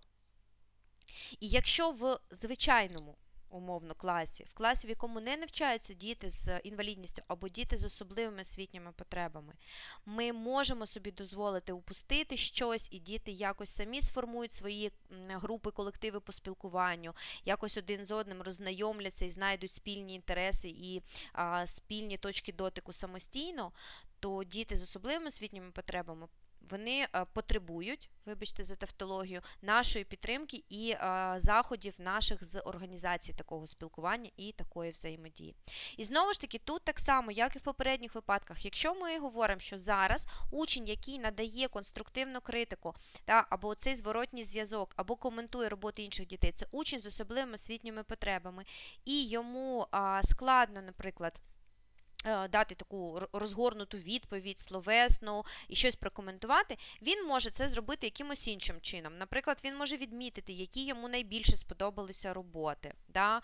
Або е, асистент може давати йому навідні запитання чи вчитель, і дитина буде відповідати. Наприклад, тобі подобається там колір, який обрав там той чи інший учень. Тобі подобається там, як він зліпив цього пінгвіна або цього ведмедя, або цю цибулинку. Да? А, Тобі цікаво було дивитися або слухати його презентацію. Що ти там з неї взяв, та, що ти запам'ятав, який а, тобі найбільше сподобався слайд. І можемо дати дитині обрати на комп'ютері, да, показати той слайд з тою інформацією, яка запам'яталась або сподобалась найбільше. Але Е, окрім того, що ми організовуємо е, щоденну практику спілкування, в нас інколи виникає потреба або бажання інформувати дітей про інвалідність, про певні конкретні порушення. І ми зазвичай не знаємо, коли це зробити, як це зробити, як це зробити доречніше. І те, що лежить зазвичай на поверхні, те, що нам доступно, це певні або відеоролики, або мультфільми про дітей або про людей з інвалідністю. Я би е, на початок та навчання дітей не радила би використовувати а, конкретні а, мультики або відеоролики про порушення, діагнози, про а, інвалідність, яка відповідає тому, що є в одного з учнів класу. Тому що ви собі уявляєте, що це а, може бути досить неприємно і досить неетично по відношенню до цієї самої дитини. Також потрібно враховувати, що діти початкових класів, там перший, другий клас, а, швидше за все, і третій, інколи дійсно не зможуть зрозуміти, ми вже про це говорили. Коли ми будемо описувати певну конкретну якусь проблему, певний діагноз, певний розлад, певне порушення, і ще й використовуючи, можливо, якісь медичні терміни. Да? Тому з такими дітьми я би все ж таки краще би радила і проводила практику, і ми трішки пізніше я вам покажу декілька прикладів на розуміння відмінностей людей, на пошук спільних рис, на формування взаємоповаги. Але Е, яку би практику я радила завести в кожному класі, в незалежності від присутності там дітей з особливими освітніми потребами чи ні, це відзначати, відзначати я не маю на увазі святкувати да? дні або інформування про а, певний розлад, певну хворобу, певний діагноз про людей, які мають певний синдром. І зазвичай до таких днів долучаються певні флешмоби. Наприклад, нещодавно, 21 березня, був День людей з синдромом Дауна, і флешмоб, який активно використовується, який є, ну, на мій погляд, одним з найтаких позитивніших, це те, що ми одягаємо різні шкарпетки. Та? Надягаємо, вибачте. Ми, як педагоги, можемо долучати дітей до цього. Ми можемо наперед розказати їм про е, людей з синдромом Дауна, можемо показати декілька, наприклад, фотографій або декілька відеороликів. Зараз є багато успішних людей е, з синдромом Дауна, які займаються моделінгом, або знімаються в кіно, е, або є там успішними е, в якихось наукових досягненнях. Розказати, що є такі люди. В нашому класі вони можуть бути, можуть не бути. І розповісти про цю акцію підтримки, та, про цей флешмоб. Зазначити, що це є не свято, але це є день, коли ми розповсюджуємо цю інформацію, коли ми підтримуємо цих людей, коли ми показуємо своїми діями, зокрема, що нам не байдуже, і ми про це знаємо. Якщо це, наприклад, день інформування про аутизм, який е, відбувається 2 квітня, то там є традиція вдягати або блакитний одяг, або чіпляти блакитну стрічку, або підсвічувати будинки блакитним, або відпускати блакитні кульки, тобто щось, що пов'язане із е, блакитним кольором. І так само це може бути дуже хорошим приводом розказати дітям про людей з аутизмом. Знову ж таки, ми можемо показати напереддень а, мультфільм про людей з аутизмом, їх є декілька. Вони досить легко сприймаються дітьми, і запропонувати дітям підтримати це. Так само це може бути День а, незрячих, а, який 13 листопада відбувається, і тоді ми можемо запропонувати дітям отримати досвід, що таке бути незрячим. Да? Всі ми знаємо про це, коли зав'язують людині очі. А, Наприклад, дитині да, вона переміщується по класу, ми даємо їй вказівки, там підійти до дошки, там щось написати, або взяти якісь предмети там зі столу, або щось кудись покласти. І потім можемо розпитати. І е, ну, насправді це не вичерпний абсолютно перелік, це просто декілька прикладів, щоб не е, я про все не можу розказати, щоб не забрати багато часу. Але це дуже хороша практика долучати дітей саме до розуміння того, що е, що таке інвалідність, або що такі певні особливості, які пов'язані із функціонуванням, або із здоров'ям, або із порушеннями. І це можна якраз робити із дітьми початкової школи майже від самого початку, просто подавати їм інформацію в тому вигляді, якому вони зрозуміють. Тут, в цьому пункті, я хочу наголосити на те, що ми не можемо примушувати дітей брати в цьому участь, активно до цього долучатись, і ми не можемо ну, е, зобов'язати дітей виконувати да, якісь наші, наприклад, вказівки. Тобто, наша така, знаєте, традиційна школа ще часто має прояви, коли так, якщо ми вирішили, що в нас а, буде відзначатись а, день. А, Людей з синдромом Дауна. Всі обов'язково мають прийти в різнокольорових шкарпетках, і коли хтось із дітей не прийшов, ми починаємо на цьому акцентувати увагу, а, можливо, навіть сварити дитину, що ти байдужий. Так робити ні в якому разі не можна, тому що це абсолютно а, е, повне волевиявлення людини, да, брати в цьому участь чи ні. Але ми можемо запитати, чому так сталося. Наприклад, ну от візьмемо да, ситуацію з різнокольоровими шкарпетками. Якщо хтось із учнів а, не прийшов. І це може, наприклад, ускладнюватися навіть ситуацію, коли в нас в класі є а, дитина з синдромом Дауна. Ми можемо запитати, о, а чого ти сьогодні не, не надяг, наприклад, різнокольорові шкарпетки? Дитина може відповісти, що я не хочу до цього долучатись. Мені ця тема не цікава, я не вважаю, що це потрібно. Ну, висловить такий протест. Ми скажемо, добре, я почув твою позицію. І поставимо на цьому крапку. Все. Без будь-якого осуду, без будь-яких коментувань негативних да, цієї поведінки дитини. А інша дитина може сказати: ви знаєте, я забув. Або моя мама а, вважає, що я постійно гублю шкарпетки, тому вона мені купляє шкарпетки тільки одного кольору, щоб завжди можна було сформувати пару. І тоді в такій ситуації ми скажемо: давай я тобі допоможу. Ми, наприклад, зможемо а, щось а, е, причепити на твою шкарпетку, при, причепити наліпку, пришити якусь квіточку, а, да, або пов'язати навіть просто якусь стрічку довкола. А, Ноги, і це буде от, виглядати, да, як вже начебто шкарпетки різні. Тобто в будь-якому випадку ми не примушуємо дітей до цього долучатись. Ми не підкреслюємо, що в нас клас інклюзивний, ти зобов'язаний, твій однокласник тепер буде страждати, ти проявив до нього неповагу. Ні в якому разі так робити не можна, тому що ми тільки налаштуємо дітей проти взагалі проти цієї ситуації, проти цього дня, проти цього однокласника, якщо він дійсно такий є. І як я вже сказала, в якості от першого досвіду інформування дітей класу про людей з інвалідністю, про різні форми інвалідності, про різні порушення, краще не обирати ту тему, да, яка відповідає одному з учнів класу, для того, щоб зберегти етичність і для того, щоб наблизити м'яко дітей до того, що е, є абсолютно різні форми. Повірте, діти і так все бачать, діти і так все знають. Якщо у вас навчається дитина з синдромом Дауна, а ви будете інформувати дітей про розлади аутистичного спектру, діти зможуть провести паралелі, вони зможуть вам, наприклад, особисто поставити запитання і зможете дати на це відповідь. І ще одна практика, яку ми так само маємо застосовувати е, щоденно, умовно кажучи, да, або ну, на постійній основі, це практика навчання за допомогою однолітків. Про що е, е, про що тут іде мова? Ми маємо навчати дітей, всіх дітей класу, як ефективно підтримувати, спілкуватися зі своїми однокласниками з особливими освітніми потребами. Чому це потрібно робити?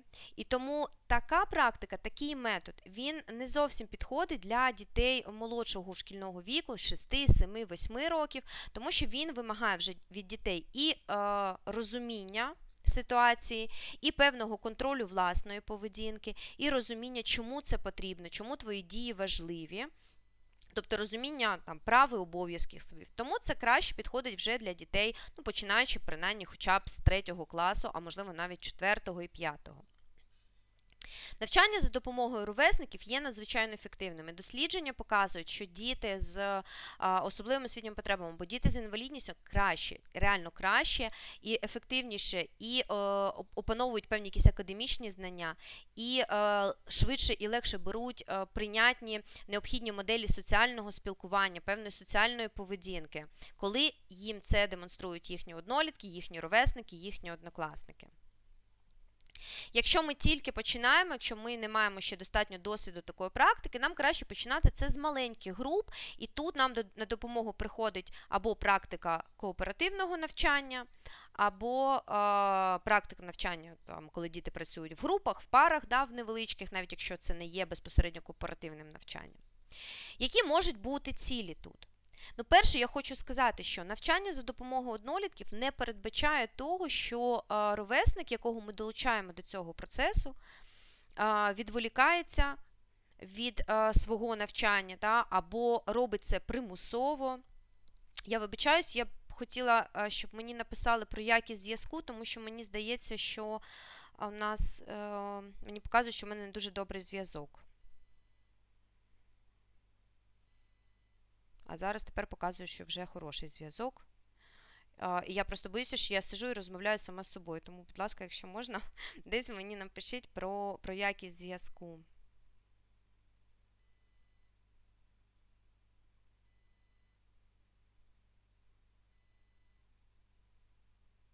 Так, мені ніхто ніде не пише. Зависає часто.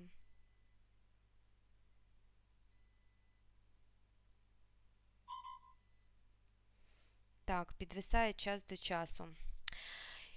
Я дуже вибачаюсь. Я сподіваюся, що в запису, можливо, е, ця трансляція буде в кращій якості, але я вже змінювала мережу. Я просто бачу, що в мене, в принципі, працює інтернет, тому. Якщо хтось е, через це дуже страждає, я я приношу величезні вибачення. Але зараз, на жаль, не можу на це вплинути. Добре. Повертаємось. Так от, ми не ми не зобов'язуємо дітей брати в цьому участь, ми їх залучаємо. Залучаємо через власний е, досвід. Через власний приклад, через пояснення, до речі, чому це важливо, і через ту роботу, щоденну нашу роботу з формування спілкування, взаємодії між дітьми, про яку ми говорили перед цим. Так от, до чого ми можемо, до якої е, підтримки да, ми можемо долучати однокласників в роботі з учнями з особливими освітніми потребами? Наприклад, певні ігрові взаємодії, коли ми вчимо дитину дотримуватися черги, або спокійно приймати поразку, або давати згоду на участь у грі. Часто ці функції бере на себе хтось із спеціалістів, які працюють з дитиною. Наприклад, це може робити психолог та на індивідуальних заняттях проводити таке навчання з учнем. Або е, це може робити там, можливо, логопед та, якщо це щось е, стосується спілкування. Але краще, якщо це будуть е, робити однокласники або ровесники, і, відповідно, той спеціаліст, який знає, як це зробити, або той, який в індивідуальну програму розвитку поставив ціль навчити дитину дотримуватися черги, в тому числі в ігровому форматі, він має і, зокрема, проінструктувати асистента вчителя або вчителя, як цю роботу проводити на перерві. Можливо, асистента дитини, якщо такий присутній, і теж долучений до роботи. Ми можемо, наприклад, залучати однокласників для того, щоб вони пропонували допомогу нашому учневі, тому що часто діти з особливими освітніми потребами навіть не вміють приймати допомогу. І, і це трапляється досить часто. Або навпаки, ми будемо залучати ровесників для того, щоб вони просили допомоги у учня, і, відповідно, той надавав їм певну допомогу або ділився, наприклад, якимись матеріалами. Надавати зворотній зв'язок або виправляти помилки. Часто діти дуже погано реагують, і це не тільки діти з особливими освітніми потребами, коли ми ну, підкреслюємо да, або говоримо про те, що вони припустилися в, е, під час виконання завдань якоїсь певної помилки, або взагалі вони там ем, мали якусь певну проблему з поведінкою. І якщо так такі зауваження, такі коментарі, такий зворотній зв'язок надають ровесники, діти сприймають це набагато простіше, тому що часто ровесники роблять це без певного осуджуючого компоненту, а також а, діти розуміють, що однокласник він ну, не наділений такими владними повноваженнями, як вчитель або асистент. Зокрема, поставити нижчу оцінку, насварити або повідомити батькам, і вони набагато простіше сприймають це, умовну критику, да, і легше виправляють оцінки. Діти можуть е, навчати один одного правилам поведінки, наприклад, перед уроком, однокласник, який сидить поруч е, своєму е, другові. Який потребує та, такої підтримки, пояснює правила поведінки на уроці, а протягом уроку показується власним прикладом. Ну, Зокрема, є правило звертатися до вчителя да, піднявши руку, і після того, як вчитель там зверне на тебе увагу і запитає. І от однокласник може продемонструвати таку ситуацію, повернутися і сказати, бачу, я підняв руку, почекав, там Анна Миколаївна мене спитала, і я дав відповідь. Та? Або асистент може звернути увагу, що бачиш, е, твій друг, да, він так робить. Це може бути ситуація, коли ми вчимо дітей вітатися, ініціювати вітання або відповідати на привітання, тому що для того, щоб вітатись, да, нам потрібно мінімум дві людини: одна, яка вітається, інша, яка приймає це вітання. Тому, відповідно, нам потрібно залучати до цього однокласників. У ровесників можуть бути різні ролі. І я хочу наголосити, що навчання за допомогою однолітків корисно не тільки і не стільки для дітей з особливими освітніми потребами, скільки і для їх ровесників з типовим розвитком. Одна з ролей, яка може бути, це ініціатор. Тобто, коли ровесник, наприклад, починає підтримує взаємодію з учнем, а в ігровій ситуації, в, під час уроку при виконанні якихось завдань, якщо вони це можуть робити разом, а не це індивідуальні завдання. Він може просити або надавати допомогу, ділитися предметами, може робити компліменти учневі, може цікавитися предметами, які є у дитини. Це можуть бути іграшки або якісь предмети, там цікава цікавий ластик, або пенал, або зошит з якоюсь обкладинкою цікавою. Тобто постійно ініціювати взаємодію і підкреслювати, да, що мені це подобається. Якщо у вас виникне запитання, ой, а як же дитина це буде робити, е, звідки він про це буде знати, а ми маємо його навчити. Ми маємо з ним домовитись. І не просто домовитись сказати, так, сьогодні ти робиш три компліменти Оленці. От хочеш, не хочеш три компліменти, я рахую, от бачиш, поставили пальці, буду загинати. Ні, так не вийде. Ми маємо, наприклад, попросити сказати, що ой, дивись, слухай, у Оленки сьогодні дуже красива сукня. Або о, дивись, яка в неї цікава іграшка. Попроси подивитись, да, або покажи їй свою або е, відміть, яка в неї гарна сукня, їй буде приємно. І після того, як учень це зробив, ми маємо сказати: слухай, ну я була просто здивована, ти крутий, ти це так класно зробив. І ти бачиш, яка Оленка була задоволена. Я тобі дуже вдячна, що ти просто виконав там моє прохання, да, або зреагував. Або ми можемо піти по-іншому, сказати: Ой, мені треба відволіктися. Ти не міг би перевірити, як Сашко виконує завдання. І якщо він помилиться, да, наприклад, показати і допомогти йому е, зробити завдання правильно. І асистент в цей час відходить, наче робить вигляд, що він десь відволікся, і учень, відповідно, який впорається з завданням швидше, да, зможе допомогти своєму однокласнику. Потім, знову ж таки, ми приходимо і ми пам'ятаємо, що ми маємо завжди заохочувати дітей. І ми говоримо: Вау!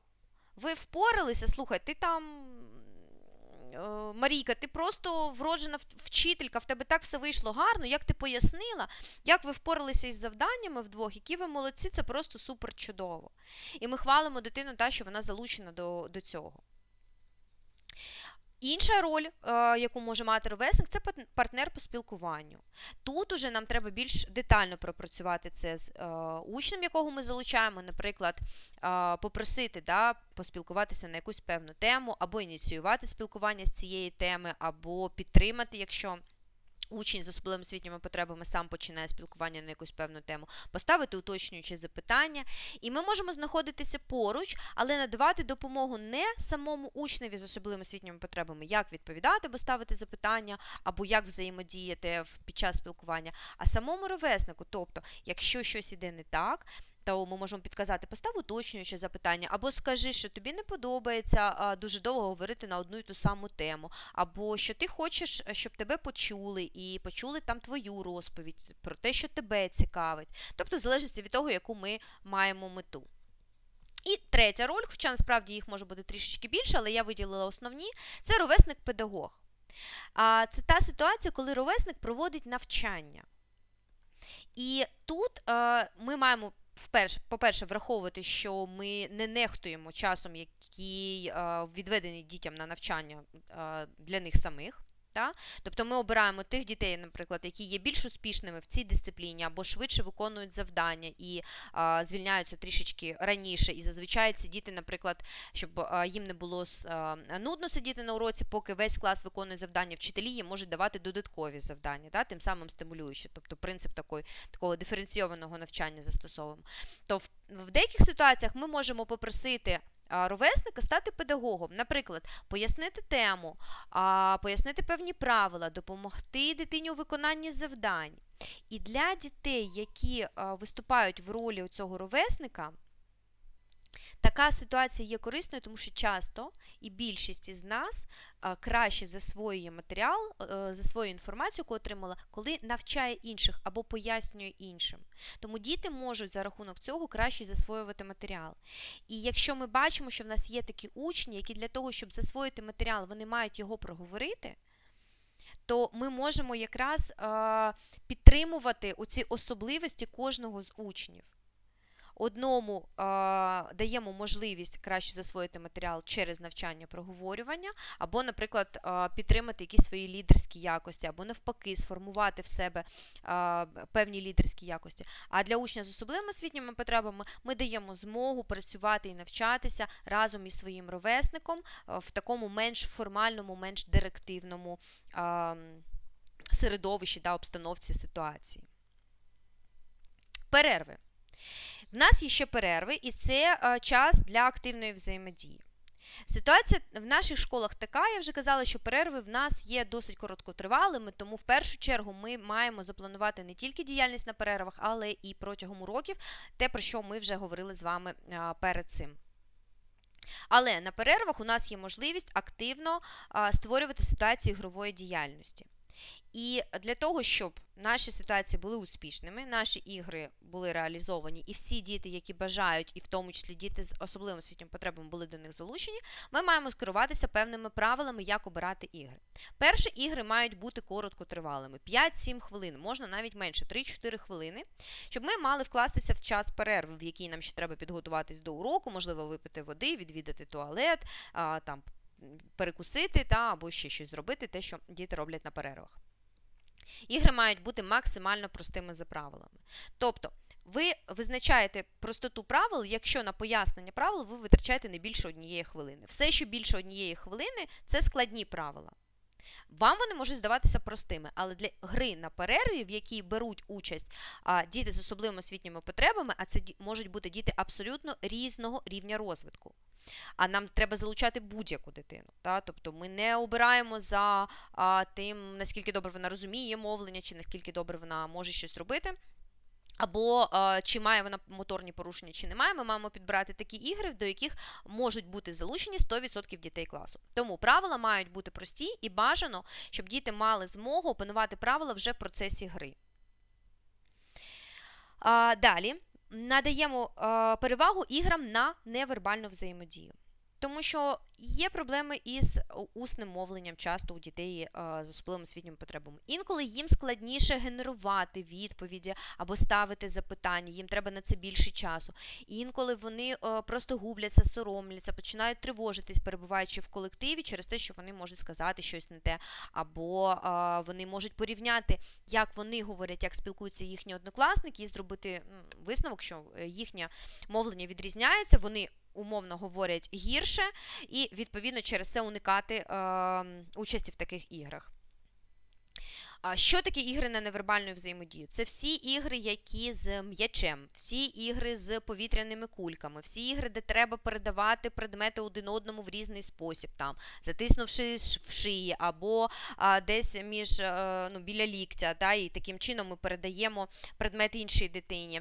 А, Це всі активні ігри а, на кшталт струмочка, каблучки, да, де ми передаємо один одному, а, там, де ми передаємо м'яч якимось певним чином, спочатку через через голову, потім, наприклад, там під ногами ми його прокручуємо один одному. Це можуть бути ігри для всього класу, ну, для однієї групи дітей, або ми можемо ділити дітей на команди. Також враховуйте те, що якщо один з гравців відмовився брати участь або вийшов посеред гри, то на подальший хід гри це не буде впливати. Якщо ми граємо з м'ячем, наприклад, в їстівне, не їстівне, а їстівне, не їстівне може перетворюватися в будь-що. Наприклад, ми кидаємо м'яч, і діти мають називати не знаю, відповіді на математичні приклади. Або ми кидаємо м'яч, і діти мають називати своє улюблене ім'я, або свій улюблений мультик, або мультиплікаційний персонаж. Або ми дітям кидаємо м'ячик, називаючи неіснуючі мультиплікаційні персонажі, і діти мають його відбивати. Да? Тобто не їстівне, а щось інше. Або ми говоримо приклад і розв'язок, і якщо він неправильний, дитина має відбивати. Ви підбираєте той формат, який відповідає віку, рівню розвитку дітей, які грають, і в тому числі враховуєте особливості учнів з особливими освітніми потребами, те, наскільки вони можуть бути до цієї гри, залучені. Так от, якщо з таких ігор один з учасників посеред гри вибуває, на ході гри це ніяк не відбувається. І тому ми е, страхуємося, по-перше, від того, що учень з особливими освітніми потребами може не схотіти грати в цю гру, і він не підведе всіх інших учасників. Або, наприклад, що якась, якийсь е, інший учень да, там посеред гри скаже, все мені набридло, і начебто залишить да, е, всіх дітей, в тому числі е, учнів, заради яких да, ми це створюємо, ну, з такими неприємними відчуттями. Якщо ми використовуємо настільні ігри, то е, бажано обрати, по-перше, ігри прості, а по-друге, ті, в яких перемога залежить умовно від фарту, да, від долі, а не від спритності чи умінь гравців. Тобто ігри, де ми кидаємо кубік, да, на якому ігрові кості, на якому випадає певна кількість а, крапочок, і це значить, там, куди ми просуваємо свою фішку. Оця гра якась є прикладом того, як а, ситуація залежить від фарту, да, від а, е, карми, небесної канцелярії, будь-чого, а не від наших здібностей. Або там, де ми витягаємо з колоди карти, які перевернуті рубашкою догори, да, ми не знаємо, що нам випадає, і тому, відповідно, ну, от як випало, так і випало. Да, Наприклад, більше або менше. А, Якісь ігри, в яких є щось на кшталт рулетки, де ми крутимо, і знову ж таки стрілочка кожного разу потрапляє на е, різне поле. Таким чином, ми прибираємо ситуацію, коли діти з особливими освітніми потребами або діти, які менш спритні, постійно будуть програвати таких іграх. Ми даємо шанс виграти абсолютно кожній дитині. Якщо ми говоримо про учнів з особливими освітніми потребами, то нам необхідно їх підтримати в ігровій діяльності, і ми маємо перед тим, як планувати ці ігри, отримати інформацію про те, які ігри дитині подобаються, або в яких вона успішна, для того, щоб скласти цю ситуацію. Якщо ви зараз думаєте, ну а чому ми не враховуємо бажання інших дітей? Тому що вони їх легко нам висловлять. Якщо ми запропонуємо їм пограти в ту чи іншу гру, якась частина дітей скаже, а я не хочу, я цю гру не люблю, бо мені не цікаво. Також е, діти з типовим розвитком можуть організувати свою ігрову діяльність самостійно. Вони об'єднуються в групу і придумують собі якусь гру. Бандити і поліцейські, принцеси і котики, феї і чарівні поні, і так далі. І так далі. І це може бути з предметами, без предметів. А Діти з особливими освітніми потребами часто не можуть долучитись до такої гри, тому що не вміють, або їм важко підтримувати цю гру, тому що вони не розуміють правила, чи вони менш спритні, ніж е, їхні ровесники. Тому ми збираємо інформацію, і якщо в нас є потреба, ми можемо навчати дитину індивідуально грати в ці ігри, а потім включати це вже у ігри з е, ровесниками. Наприклад, ми хочемо, щоб діти грали в камінь, ножиці, папір. Проста гра, не потребує ніяких предметів, можна закінчити в будь-який момент. Ти і, і виграєш, і програєш безліч кількість разів, тому немає образи. І ми можемо спочатку навчити учня грати в цю гру, пояснити правила, можливо, навіть зробити візуальні картинки, правил там. да, що ножиці ріжуть папір, камінь там, наприклад, тупить ножиці, а що там колодязь поглинає камінь, да, він туди падає. А папір накриває колодязь і так далі. Тобто зробити таку, такі візуальні правила, є картинки в інтернеті, це не, не проблема. І просто пограти вдвох з дитиною, і потім вже долучати туди ровесників. Якщо у нас ситуація, що дитина з особливими освітніми потребами не а, вміє грати в ігри в даний момент, і нам ще треба час для того, щоб навчити, або вона не проявляє бажання долучатись до ігор, от просто ми те пропонуємо, не хоче, те пропонуємо, не хоче, то ми що робимо? Дивимось пункт 2, навчаємо грати в ігри. Інколи діти відмовляються грати в ігри, саме відчуваючи свою потенційну неуспішність. А друге, що ми робимо, ми пропонуємо якісь інші спільні види діяльності. Ігри краще, але можна обрати щось інше. Можна разом складати пазли, розмальовувати розмальовки, можна дивитися разом відео на смартфонах, якщо вони є у дітей, і в школі ну, допускається, там, наприклад, використання їх на перервах, тому що це залежить від правил е, школи, навіть конкретного класу.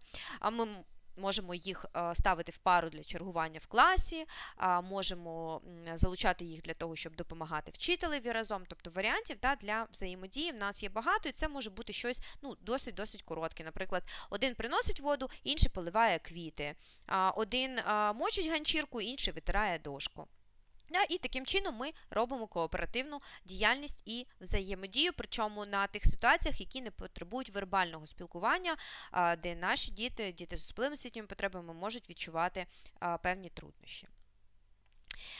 Прикладів ігор, які можна використовувати на перерві, є велика купа. Я вам просто от, е, вивела на слайд ті, які, на мій погляд, є найпростішими, найкоротшими і відповідають всім тим пунктам, про які я казала. Тобто не потребують е, говоріння да, вербального спілкування, є короткими. Вони, от бачите, в мене е, я прямо зробила фотографію з е, файла, тому що. Ми це використовуємо і ну, ті, кому я е, з ким я ділюся цим, вони використовують це прямо як у цю стратегію з вибором імен зі шляпи. Тобто ми друкуємо такі листочки короткі, е, маленькі, на яких намальовані ці ігри. Діти тягнуть ці папірці.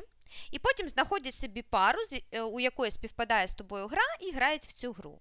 Або інший варіант, ми можемо використовувати це не тільки на перерві, а й під час уроку, замість якоїсь там фізкульт-хвилинки або передишки, коли ми роздали дітям, дали можливість або роздали по парам, по партам, так, якщо вони вдвох сидять, ці папірці, і діти один з одним можуть зіграти.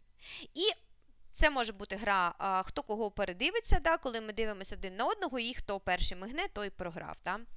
Камінь, ножиці, папір, це гра може бути спіймай палець елементарна гра, один тримає ось так руку, а інший підносить палець і торкається. І завдання того, хто тримає відкриту долоню, спіймати палець. Ну, а завдання пальця, відповідно, втікти. Гра проста, має початок, немає кінця. Можна грати декілька хвилин, гра досить весела. Можна ловити палець так, можна ловити так. Не дихай. Ясно, хто довше буде не дихати. Набираємо повітря, затримуємо його, ніхто довше не видихне. Гра дзеркало, коли діти один за одним повторюють е, будь-які рухи, будь-які е, е, жести, будь-яку міміку. Вона може бути сидячою ця гра, ми можемо стояти. І ми, наприклад, там три рухи, е, ти дзеркало, а ти людина, яка повторює, потім міняємось. Можна використовувати замість руханки, коли нам треба дітей підняти з, за парт, да, для того, щоб вони хоча б там постояли, порухали тілом, і замість такої от е, якоїсь фізкульт-хвилинки, яку ми плануємо, ми можемо взяти таку гру. А, Гра записка на спині, вона зазвичай складна. Ми часто використовуємо це на тренінгах, і дорослі люди в нас постійно програють в цю гру. Коли ми на спині або на руці, але так, щоб інша людина не бачила, щось малюємо. Це може бути літера, це може бути цифра, це може бути геометрична фігура. Ми можемо зазначити, да, що ми малюємо там сонечко, ялинка. Квадрат, коло, літера А, цифра 1 і так далі. І людина, в якої на спині або десь там на руці, е, там, де вона не бачить або відвернулась, малює, має це відгадати. Знову ж таки, Взаємодія є, є, гра є, є. Е, за часом небагато, небагато, е, не потребує словесного спілкування, дітям весело. І якщо це ми от навіть беремо як практику на уроках, то в нас навіть ну, немає потреби для того, щоб знаходити один одному пари. І ці ігри настільки прості, що навчити а, е, цим іграм дітей з особливими освітніми потребами ну, зазвичай не складно, або принаймні не всім, але декільком з цих видів ігор. А, Підбирати іще якісь ігри ви можете до безкінечності, і е, якщо у вас виникає запитання, де брати ідеї, то інтернет, Фейсбук, групи, всякі чати, де спілкуються педагоги, і там часто люди діляться ідеями ігр е, і всяких різних е, ідей. тому це просто абсолютно безкінечний процес, ми можемо знаходити нові ігри. Я буду трішки пришвидшуватись, тому що є ще інформація, час у нас вже так а, збігає. Сподіваюся, що вам а, цікаво і корисно, і сподіваюся, що мій перериваючийся зв'язок не дуже. А, вас травмує і не дуже відбувається на якості вашого сприйняття. Я на секундочку просто погляну в чат. Можливо, ви вже там пишете, що ви мене ненавидите, тому що неможливо з такою якістю працювати. Так, ага, тут про ігри. Підтримуємо ровесників. Дякую за цінні прості поради.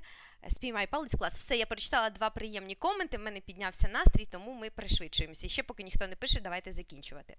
І так, тепер ми говоримо вже безпосередньо про практику толерантності. Якщо до цього ми говорили просто про організацію щоденного спілкування і взаємодії між дітьми. Я вам навела декілька зовсім мало, тому що ну просто не не вистачить часу про все розказати прикладів, щоб знаєте, як згенерувати вам ідеї, або а, знаєте, а, посадити вам якесь зернятко, яке проросте, і потім ви вже будете нашаровувати туди свої розробки, свої ідеї або свої якісь адаптації да, цих варіантів то ми можемо так само використовувати вже більш конкретно якісь певні заходи, спрямовані на практику толерантності. Я взяла слово толерантність в лапки, тому що останнім часом це слово визиває у багатьох людей і негативні якісь певні відчуття, і спірні відчуття. Е, часто нам говорять про те, що ми зобов'язані бути толерантними. І вже ось це те, що нас зобов'язують, воно якось іде абсолютно в розріз з розумінням там толерантності, да, як прийняття, як вільного а, свого а, волевиявлення да, і вільного бажання. Тому. А, я взяла це в лапки, і ми говоримо тут не про толерантність як таку, а більше той, той термін, який мені подобається, про взаємоповагу і спокійне прийняття особливостей людей, які знаходяться довкола нас, будь-яких людей з інвалідністю чи без, з порушеннями чи без, з різним кольором волосся, з ростом, вагою, окулярами або без окулярів, не знаю, там кольором очей і так далі. Найбільша помилка, яку можуть зробити педагоги, це планувати такі уроки толерантності, повідомляти всім, що в нас завтра урок толерантності батькам. Е, адміністрації закладу освіти, самим учням класу, проводити їх за графіком декілька разів на рік, робити красивий е, фото або відеозвіт та ставити галочку, що виконано. Коли ми це робимо ось так надмірно е, підкреслено, гіпертрофовано, ми привертаємо до цього не ту увагу, яку ну, ми дійсно маємо привернути. Тому практика толерантності, так само, як і спілкування, має відбуватися протягом всього навчального року та планово, системно, з певною періодичністю. І якщо ми говоримо про дітей, наприклад, початкової школи, то в їхньому випадку ефективніше буде, ми про це вже говорили, да? не розмови такі, знаєте, важкі і серйозні про особливості людей, про інвалідність, про діагнози, а певні види діяльності і ігри. ігри на розуміння особливостей і відмінностей людей, а також на визначення спільних рис і того, що нас об'єднує. Ми говорили про анкетування, та, і що там ми вже мали би змогу знайти ось ці спільні риси. Тобто, це, по суті, теж є певною практикою толерантності, але використання анкетування в нас набагато ширше. Ніж просто там формувати уявлення про особливості інших людей і чим ти можеш від них відрізнятися.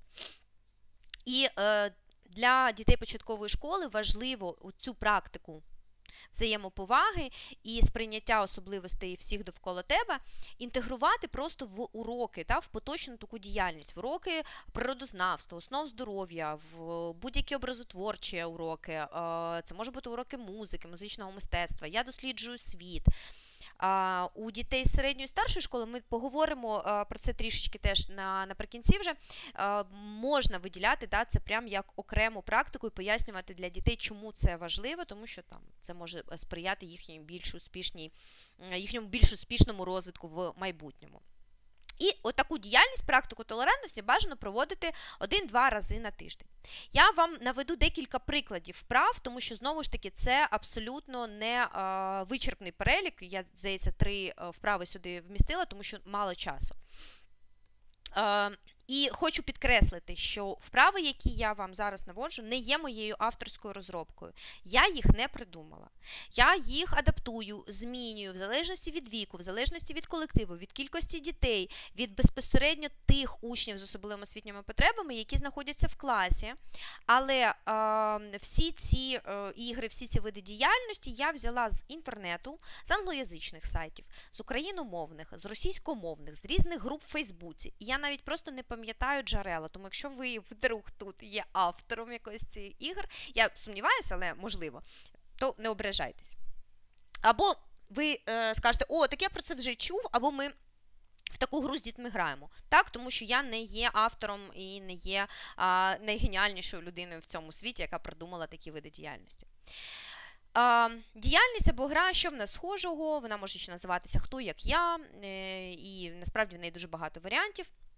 Сенс гри в чому? Ми маємо певний підготувати матеріал, картинки, на яких зображені різні речі, різні предмети, різні види діяльності. Їх не має бути дуже багато, 5-8 штук, може бути навіть менше, якщо е, дитячий колектив молодший, або якщо в нас мало часу, або якщо в нас навпаки велика кількість дітей в класі. І на цих е, картинках мають бути зображені е, певні знову ж таки види діяльності, або речі, які е, дітям е, повинні бути до вподоби, мають бути. Да? І ми е, можемо передбачити, що більшість дітей, наприклад, скаже, що це їм подобається. Ну, от, зокрема, мама. Яка ж дитина скаже, що вона не любить свою маму. І такі, які дітям швидше за все не сподобаються, або не сподобаються нікому. Це можуть бути, наприклад, там, бійка, е, необхідність чекати в черзі, е, не знаю, там, пожежа якась. Ем, хвороба, да, коли ти захворів, е, наприклад, на вітрянку і ти весь зелений лежиш. Тобто щось, що ну, більшості дітей точно не сподобається. Є різні варіанти, як цю гру використовувати. Наприклад, там е, вчитель називає слова або показує дітям картки. Мені більше подобається, коли ми розміщуємо ці картинки по класу, просто на скотч розвішуємо на дошку, на шафу, на підвіконня, для того, щоб дати дітям можливість ще й порухатись, тому що цю гру можна використовувати в тому числі для збільшення рухливого режиму дітей. Далі. Вчитель говорить дітям, що коли він назве якесь зображення, дітям, які це подобається, вони мають до нього підійти, а тим, яким це не подобається, вони, наприклад, можуть, мають почати присідати, залишаючись на своєму місці. І варіанти, от що вони мають зробити, можуть бути різні: підняти руки догори і присідати, плеснути в долоні і поставити руки в боки, закрити, затулити очі, покласти руки на голову. Що придумаєте? Так? Тобто я розповідаю так, те, що ми робили. Після того, як всі картинки були названі, і діти поприсідали і побігали по класу, вчитель проводить з дітьми обговорення. Це може відбуватися безпосередньо після цієї діяльності.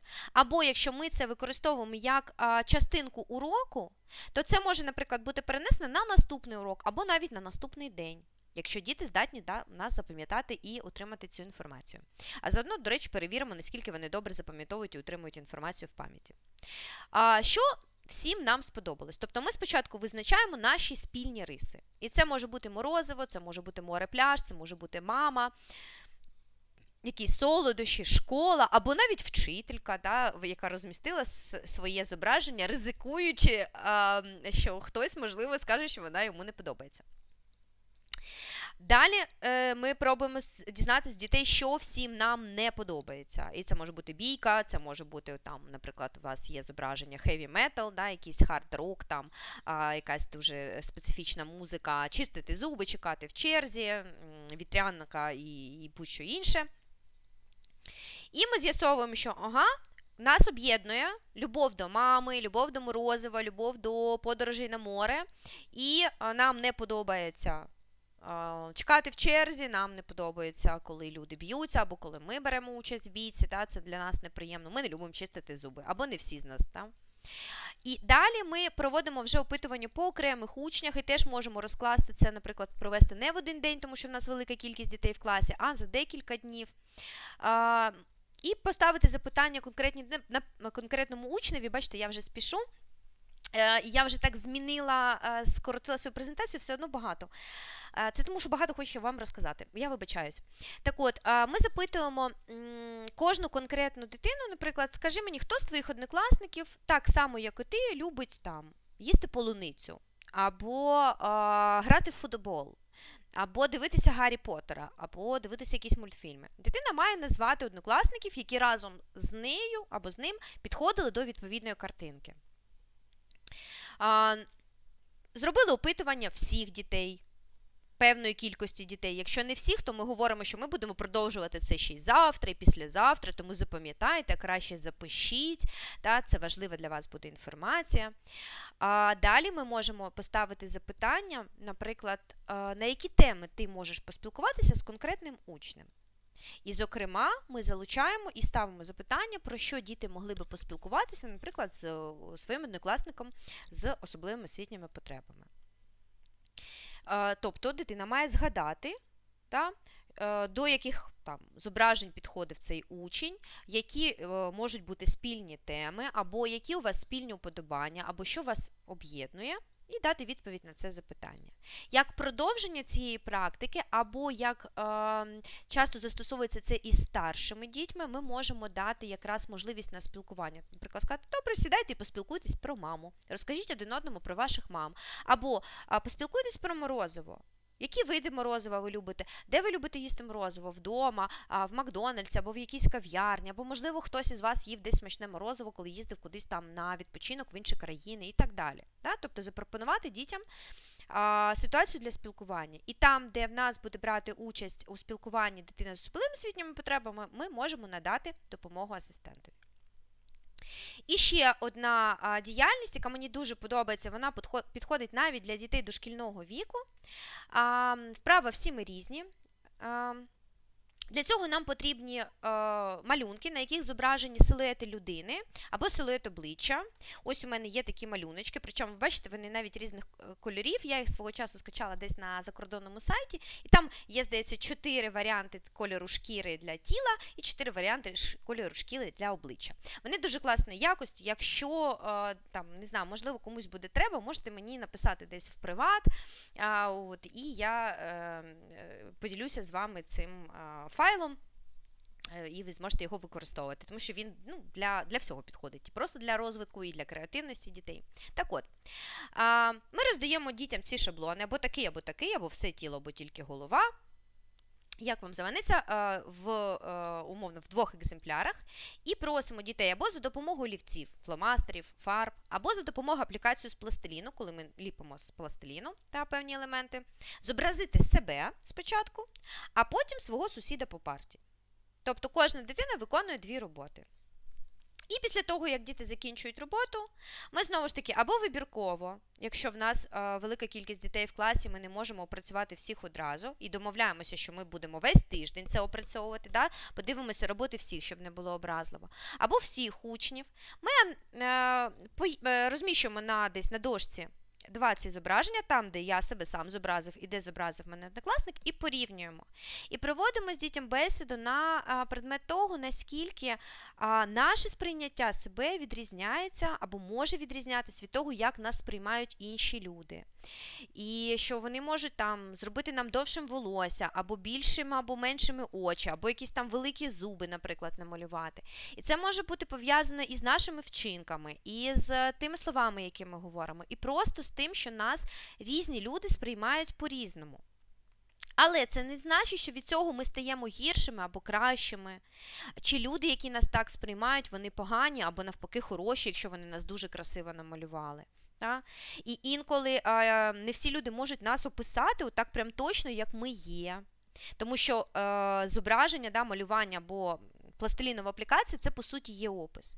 І знову ж таки, ми що тут бачимо? Ми тут бачимо можливість, коли діти а, будуть взаємодіяти один з одним з мінімальним вербальним спілкуванням. Це те, що потрібно нам, щоб. Більшу частину дітей класу, і ті, хто класно говорить, супер дуже добре розвинено, і ті, хто тільки вчиться говорити, всіх залучити до цієї діяльності. І е, пояснити таке завдання майже будь-якому учневі досить нескладно. Та? Якщо у нас учень з е, особливим освітніми потребами, наприклад, він не розуміє, що значить там зроби себе да, або зроби ровесника, то для зроби себе ми йому дамо його фотографію. Не підготували заздалегідь, сфотографували на смартфон і поклали на стіл. От уже і готово. Та? І так само ми можемо сфотографувати однокласника, якщо йому складно дивитись, і е, розмістити його теж на, на смартфоні прямо перед ним. Таким чином, ми формуємо у дітей розуміння того, що ми е, себе і інших сприймаємо абсолютно по-різному. І ще одна гра, яка теж мені подобається. Я обрала саме ці види діяльності вам для прикладу, от практики толерантності, практики взаємоповаги, тому що вони е, є практичними видами діяльності, і вони є цікавими для дітей. Вона називається яйця, ну хоча можна її назвати більш красиво. Мені подобається таке кумедне слово. І дітям, коли говориш, ми зараз будемо з вами грати в яйця, діти одразу стають такими уважними до цього і е, цікавляться, що ж буде відбуватися. Нам потрібні декілька курячих яєць, які будуть відрізнятися за кольором. За розміром, за формою. Там всі ми знаємо, що вони можуть бути більше, менше, білі, е, світло такі е, бежеві да, і такі більш коричневі. е, можуть бути кругліші або витягнутіші. Та? Тобто певні різні яйця. І також варто додати декілька яєць, які ми розфарбуємо власноруч. Будь, будь, Просто пофарбуємо фарбу, або намалюємо якісь візерунки. Тобто писанки ідеальні робити нам не потрібно. До речі, попереду Великдень от можна зробити а, таку вправу з дітьми. А, Ми показуємо. Е, вчитель, да, педагоги показують дітям яйця і просять їх описати. Да? Тобто, як вони виглядають зовнішньо. Це коричневе, це біле, це більше, це менше, це кругліше. Там, Можливо, десь якісь є, я не знаю, там прожилочки, щось діти помітять. Та, Тобто вони мають е, зрозуміти, що ці яйця зовнішньо всі майже е, не майже всі різні, вони відрізняються, і причому деякі відрізняються суттєво, тому що ми їх розфарбували. Далі ми просимо або дітей закрити очі, або ставимо якусь ширмочку, розкоцуємо яйця. Причому я е, люблю давати дітям можливість розбити ці яйця, тому що вони дуже хочуть, і так можна відзначити, до речі, найкращих учнів класу, е, якщо в нас на всіх не вистачить яєць.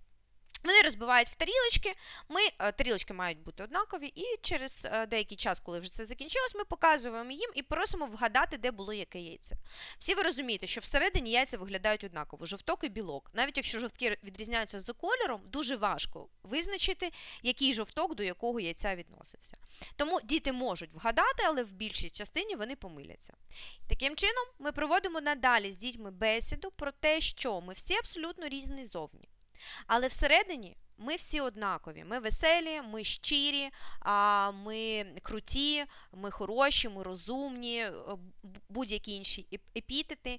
І е, показуємо дітям, що зовні ми можемо стати не тільки за власним бажанням, а й через певний збіг обставин. На прикладі яєць, те, що ми їх примусово пофарбували. Яйця згоди на це не давали.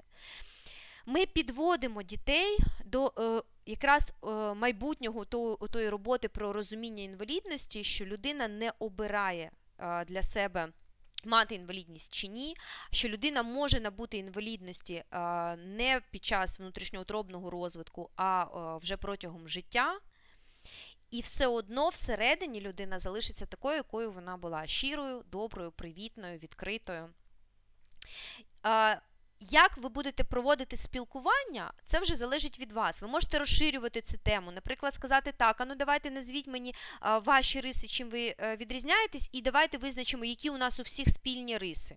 Веселі, там, круті і ще якісь інші. Там. Тобто там уже залежить від того, скільки у вас є часу, яка вікова категорія дітей, яка кількість дітей в класі, наскільки у вас є бажання це продовжувати. І дивіться, якщо ми зараз е, проведемо такий коротенький невеличкий підсумок того, що я сказала, то використовуючи ось навіть ті е, ті приклади, які я вам навела, да, це наше анкетування, це практика компліментів. Я забула, що було третє, це ігри на перервах. Також це от три вправи на підтримку толерантності.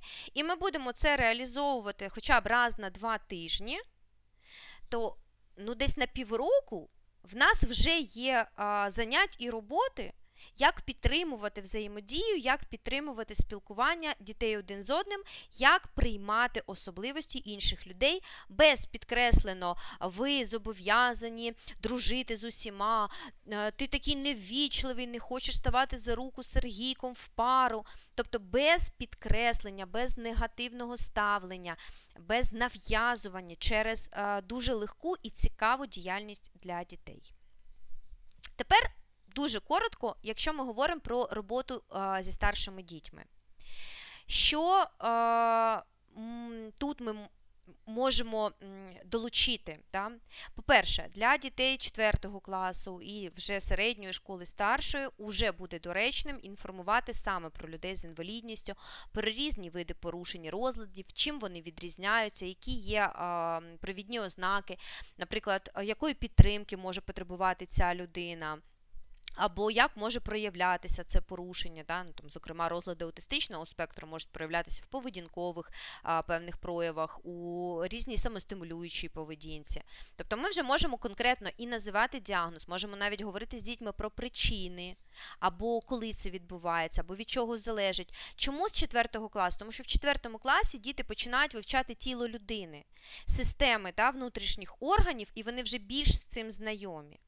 До цього, можливо, так, вони знають, з ними батьки займаються, ніхто ж не говорить, але ну, ми не впевнені. Хтось може знає, хтось може ні. Ну і діти вже психологічно більш готові для того, щоб сприймати цю інформацію.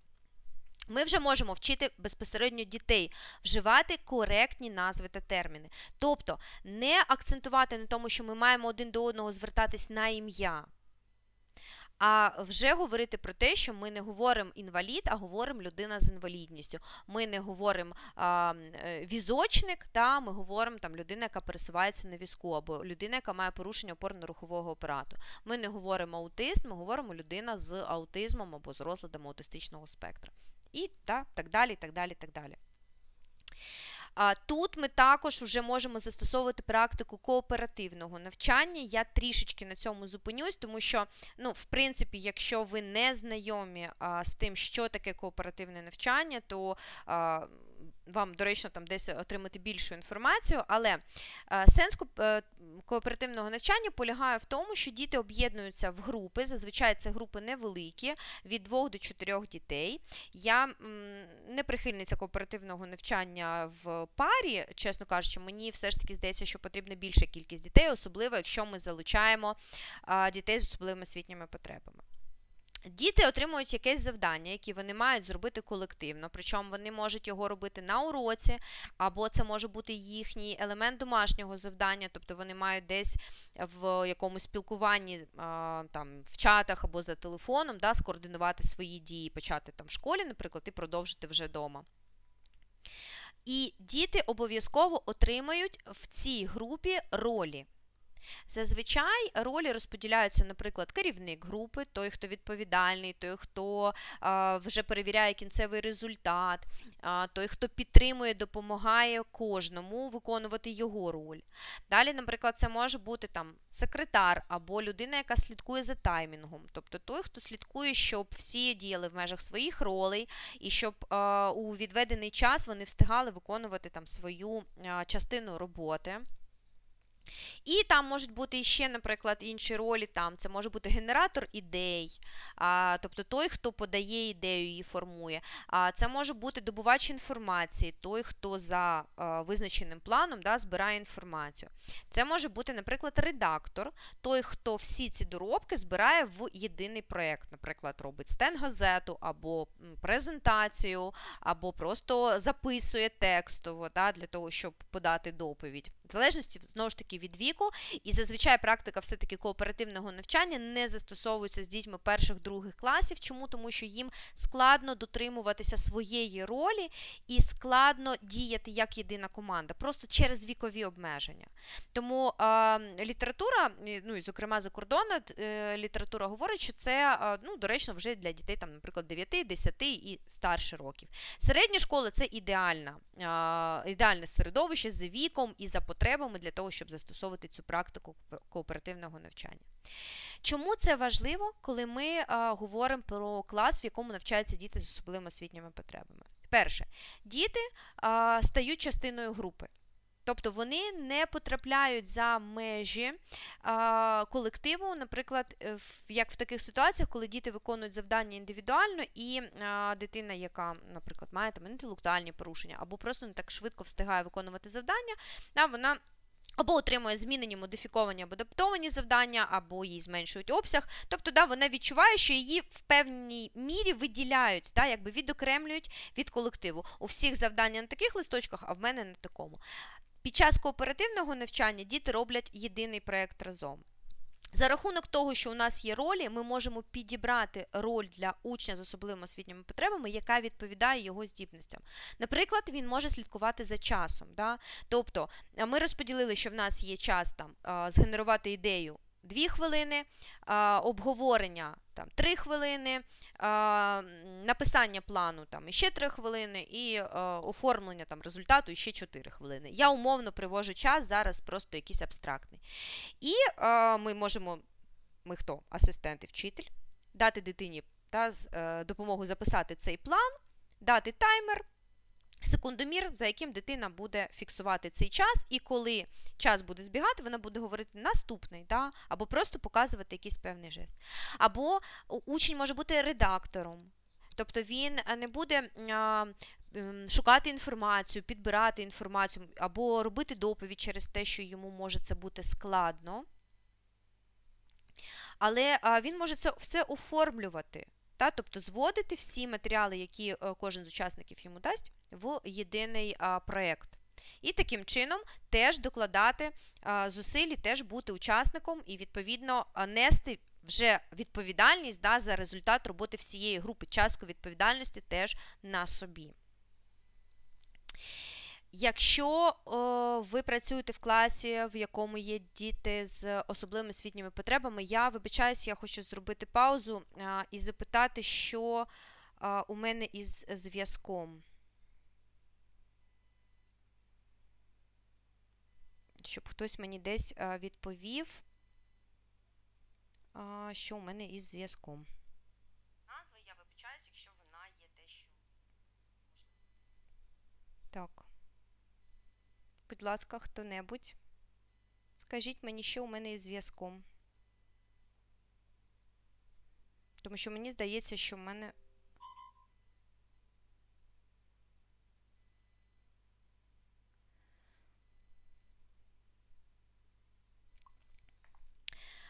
Так. А...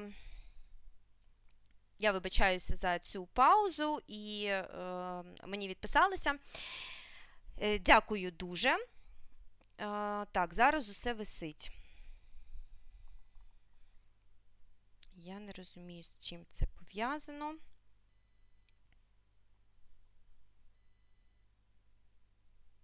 Угу. Так, показує, що начебто зв'язок відновився. Добре, якщо зараз чути, це все чудово. Е, трішечки ще е, мені залишилося та, е, вам розказати.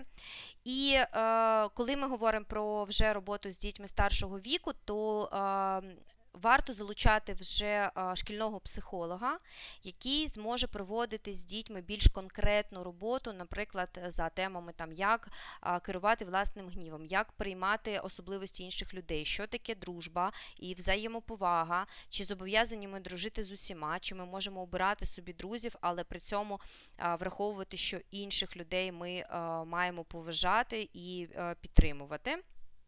І також те, що є досить важливим для спілкування дітей вже от, починаючи з середньої школи, це долучення дітей з особливими освітніми потребами до спілкування в чатах і в месенджерах. Часто у класах є не тільки батьківські чати, а і чати однокласників, в яких діти обмінюються власними думками, цікавою інформацією, щось один одного запитують. Тому ми маємо докласти зусиль і навчити дитину спілкуватися, тобто користуватися гаджетом, користуватися е, месенджерами, наприклад, і долучитися до спілкування в цих чатах. І е, останнє, та, що, е, на що я б хотіла звернути увагу, на те, що у нас велика проблема із булінгом, із цькуванням причому не тільки серед дітей, а й серед педагогів шкіл. І якщо у вас ви відчуваєте, що потенційно може виникнути така ситуація, або вона вже виникає, я б радила, як тільки у вас з'явились такі думки, звернутися або до психолога, або до якихось сторонніх фахівців для того, щоб вам надали підтримку в тих ситуаціях, коли ви відчуваєте, що є е, цькування, або воно потенційно може вже дуже скоро з'явитись. І е, в якості та, такої практики попередження цькування, ви маєте проводити бесіди з дітьми, повідомляти їм, що вони завжди можуть вам а, конфіденційно розповісти, якщо вони стали або а, свідком, або учасником такого, а, такої ситуації.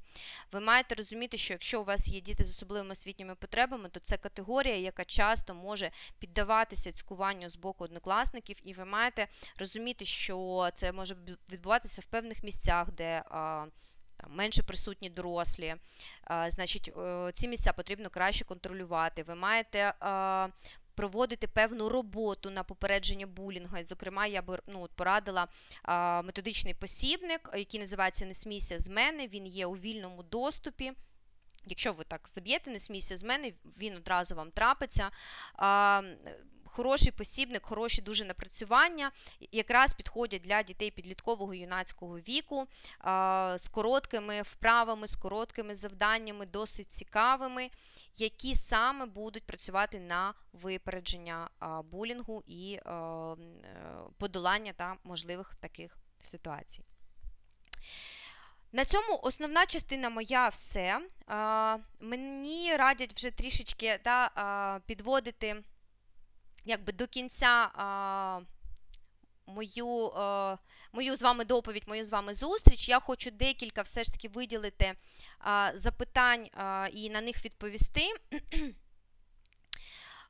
Тому що були досить да, такі проблемні запитання, які, мені здається, варто було б окреслити. Тому я, якщо вам вже важко, ви можете від'єднатись і потім послухати в чаті. Але у мене було декілька до мене було декілька запитань, що робити, якщо діти а, зараз, це вже здається, був четвертий клас, а, негативно ставляться. Так. А, Мені пише, що в мене нормальний зв'язок і а, зеленим все все відображається. Відновилося. А, Чесно, я я дуже засмучена і я вже дуже дуже хвилююсь, але все ж таки я закінчу да, з, приводу тих декількох запитань, які були до мене поставлені. Стосовно того, що.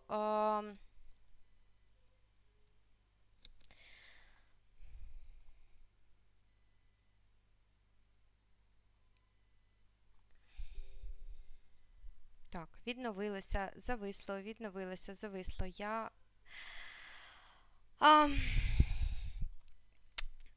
Мабуть, все, да, я е, проговорю те останнє, що хотіла, і е, змушена буде закінчити трансляцію через те, що е, така тепер зовсім проблема із зв'язком. Так от, було запитання е, про те, що діти вже навчаються в 4 класі, і е, однокласники. Е, починають говорити про те, що їм е, не подобається, вони не хочуть спілкуватися з із своїм учнем, однокласником з особливими освітніми потребами. Інколи навіть говорять, що вони його ненавидять, і, зокрема, через те, що асистент йому допомагає. Що зробити в такій ситуації? Ну, перше, що я хочу сказати, що, звісно, бажано було б працювати з дитячим колективом від самого початку. Але вже зараз, е, якщо така ситуація виникла, перше, що ви можете, це скористатися тими правилами, е, які ми визначали з вами е, до того, як спілкуватися з дітьми, як відповідати на запитання. Тобто спробуйте відповісти на запитання дітей чесно, чому ви допомагаєте цьому учневі. Тому що він потребує вашої допомоги. І запитати у тих дітей, які вам таку претензію адресують, наприклад, а, а якщо ти теж потребуєш моєї допомоги, я можу тобі допомогти, ти можеш просто мене попросити про це. В чому е, там, в чому ти потребуєш моєї допомоги, або якщо ти потребуєш моєї уваги, я теж зможу з тобою поспілкуватися. І е, проаналізувати, чи дійсно ви не занадто приділяєте увагу тільки учневі з особливими освітніми потребами, підкреслюючи да, його, або, наприклад, роблячи багато за нього. Можливо, вам треба ще провести практику формування самостійності в е, цього учня, щоб він міг більше чогось робити без вашої допомоги. Нехай це будуть простіші, легші завдання, але він їх буде робити самостійно. А, Якщо в, діти говорять да, про те, що от, там, ми його ненавидимо, ми не хочемо з ним спілкуватися, спробуйте почати практику толерантності з тих навіть а, вправ, про які я вам говорила, а, для того, щоб показати про те, що всі ми різні, а, про те, що інколи не зовсім приємно, коли нам говорять, що нас а, не люблять або ненавидять, а, що в нас є і спільні риси, зокрема. І а, за рахунок таких дій, тобто вашої чесності і певної практики, і певних спільних дій, ви, можливо, зможете подолати цю ситуацію або принаймні зробити її не такою критичною, тому що ну, ступінь, наскільки це вже критично, я а, не можу оцінити. А, Також. А, було багато запитань з приводу того, які ігри підбирати або ситуації для взаємодії з дітьми в класі. Я сподіваюся, що деякі приклади і на слайдах, і просто в розмові я вам навела, і у вас буде принаймні арсенал на певний проміжок часу, да, що ви зможете зробити, наприклад, да, або там, з чим ви зможете працювати. Було е, чимало запитань, що робити е, з дітьми, які мають прояви агресивної поведінки, або діти, які е, мають е, гіперактивність і через це теж порушення поведінки. На жаль, в межах цього ефіру я не зможу е, відповісти на е, це запитання, тому що треба працювати з кожною ситуацією окремо, розуміти, чому дитина так поводиться, і долучати не сторонніх фахівців з ефіру, а вже безпосередньо психолога або працівників ІРЦ, які зможуть на місці допомогти розібратися з цією ситуацією.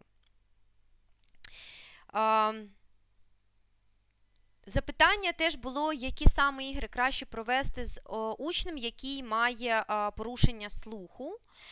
То от якраз ігри, які спряму на в основі яких лежить невербальне спілкування, ми, зокрема, можемо застосовувати і з дітьми, що мають порушення слуху. Якщо в нас є діти, які мають порушення зору або незрячі діти в класі, відповідно, вам буде потрібно ігри ці адаптувати, наприклад, робити ігри більш на слухове сприйняття.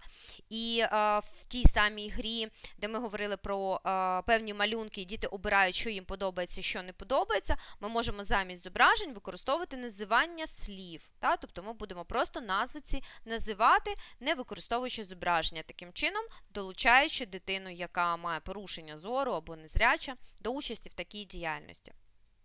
Так само більшість ігор, які я вам показувала, можуть застосовуватися е, з дітьми, які мають порушення опорно-рухового апарату і через це мають е, зменшену рухливість, тому що е, більшість ігор, наприклад, які я от проводила як приклад для перерв, вони підходять для того, щоб сидіти і робити їх сидячи да, за партою, і немає потреби в якомусь активному пересуванні, тому так само ігри ці є досить універсальні. Е, Якщо я проігнорувала ваші запитання, то у вас є два варіанти. Або ваше запитання не стосувалося теми нашої сьогоднішньої зустрічі, і, відповідно, я не мала змоги на нього відповісти, або це запитання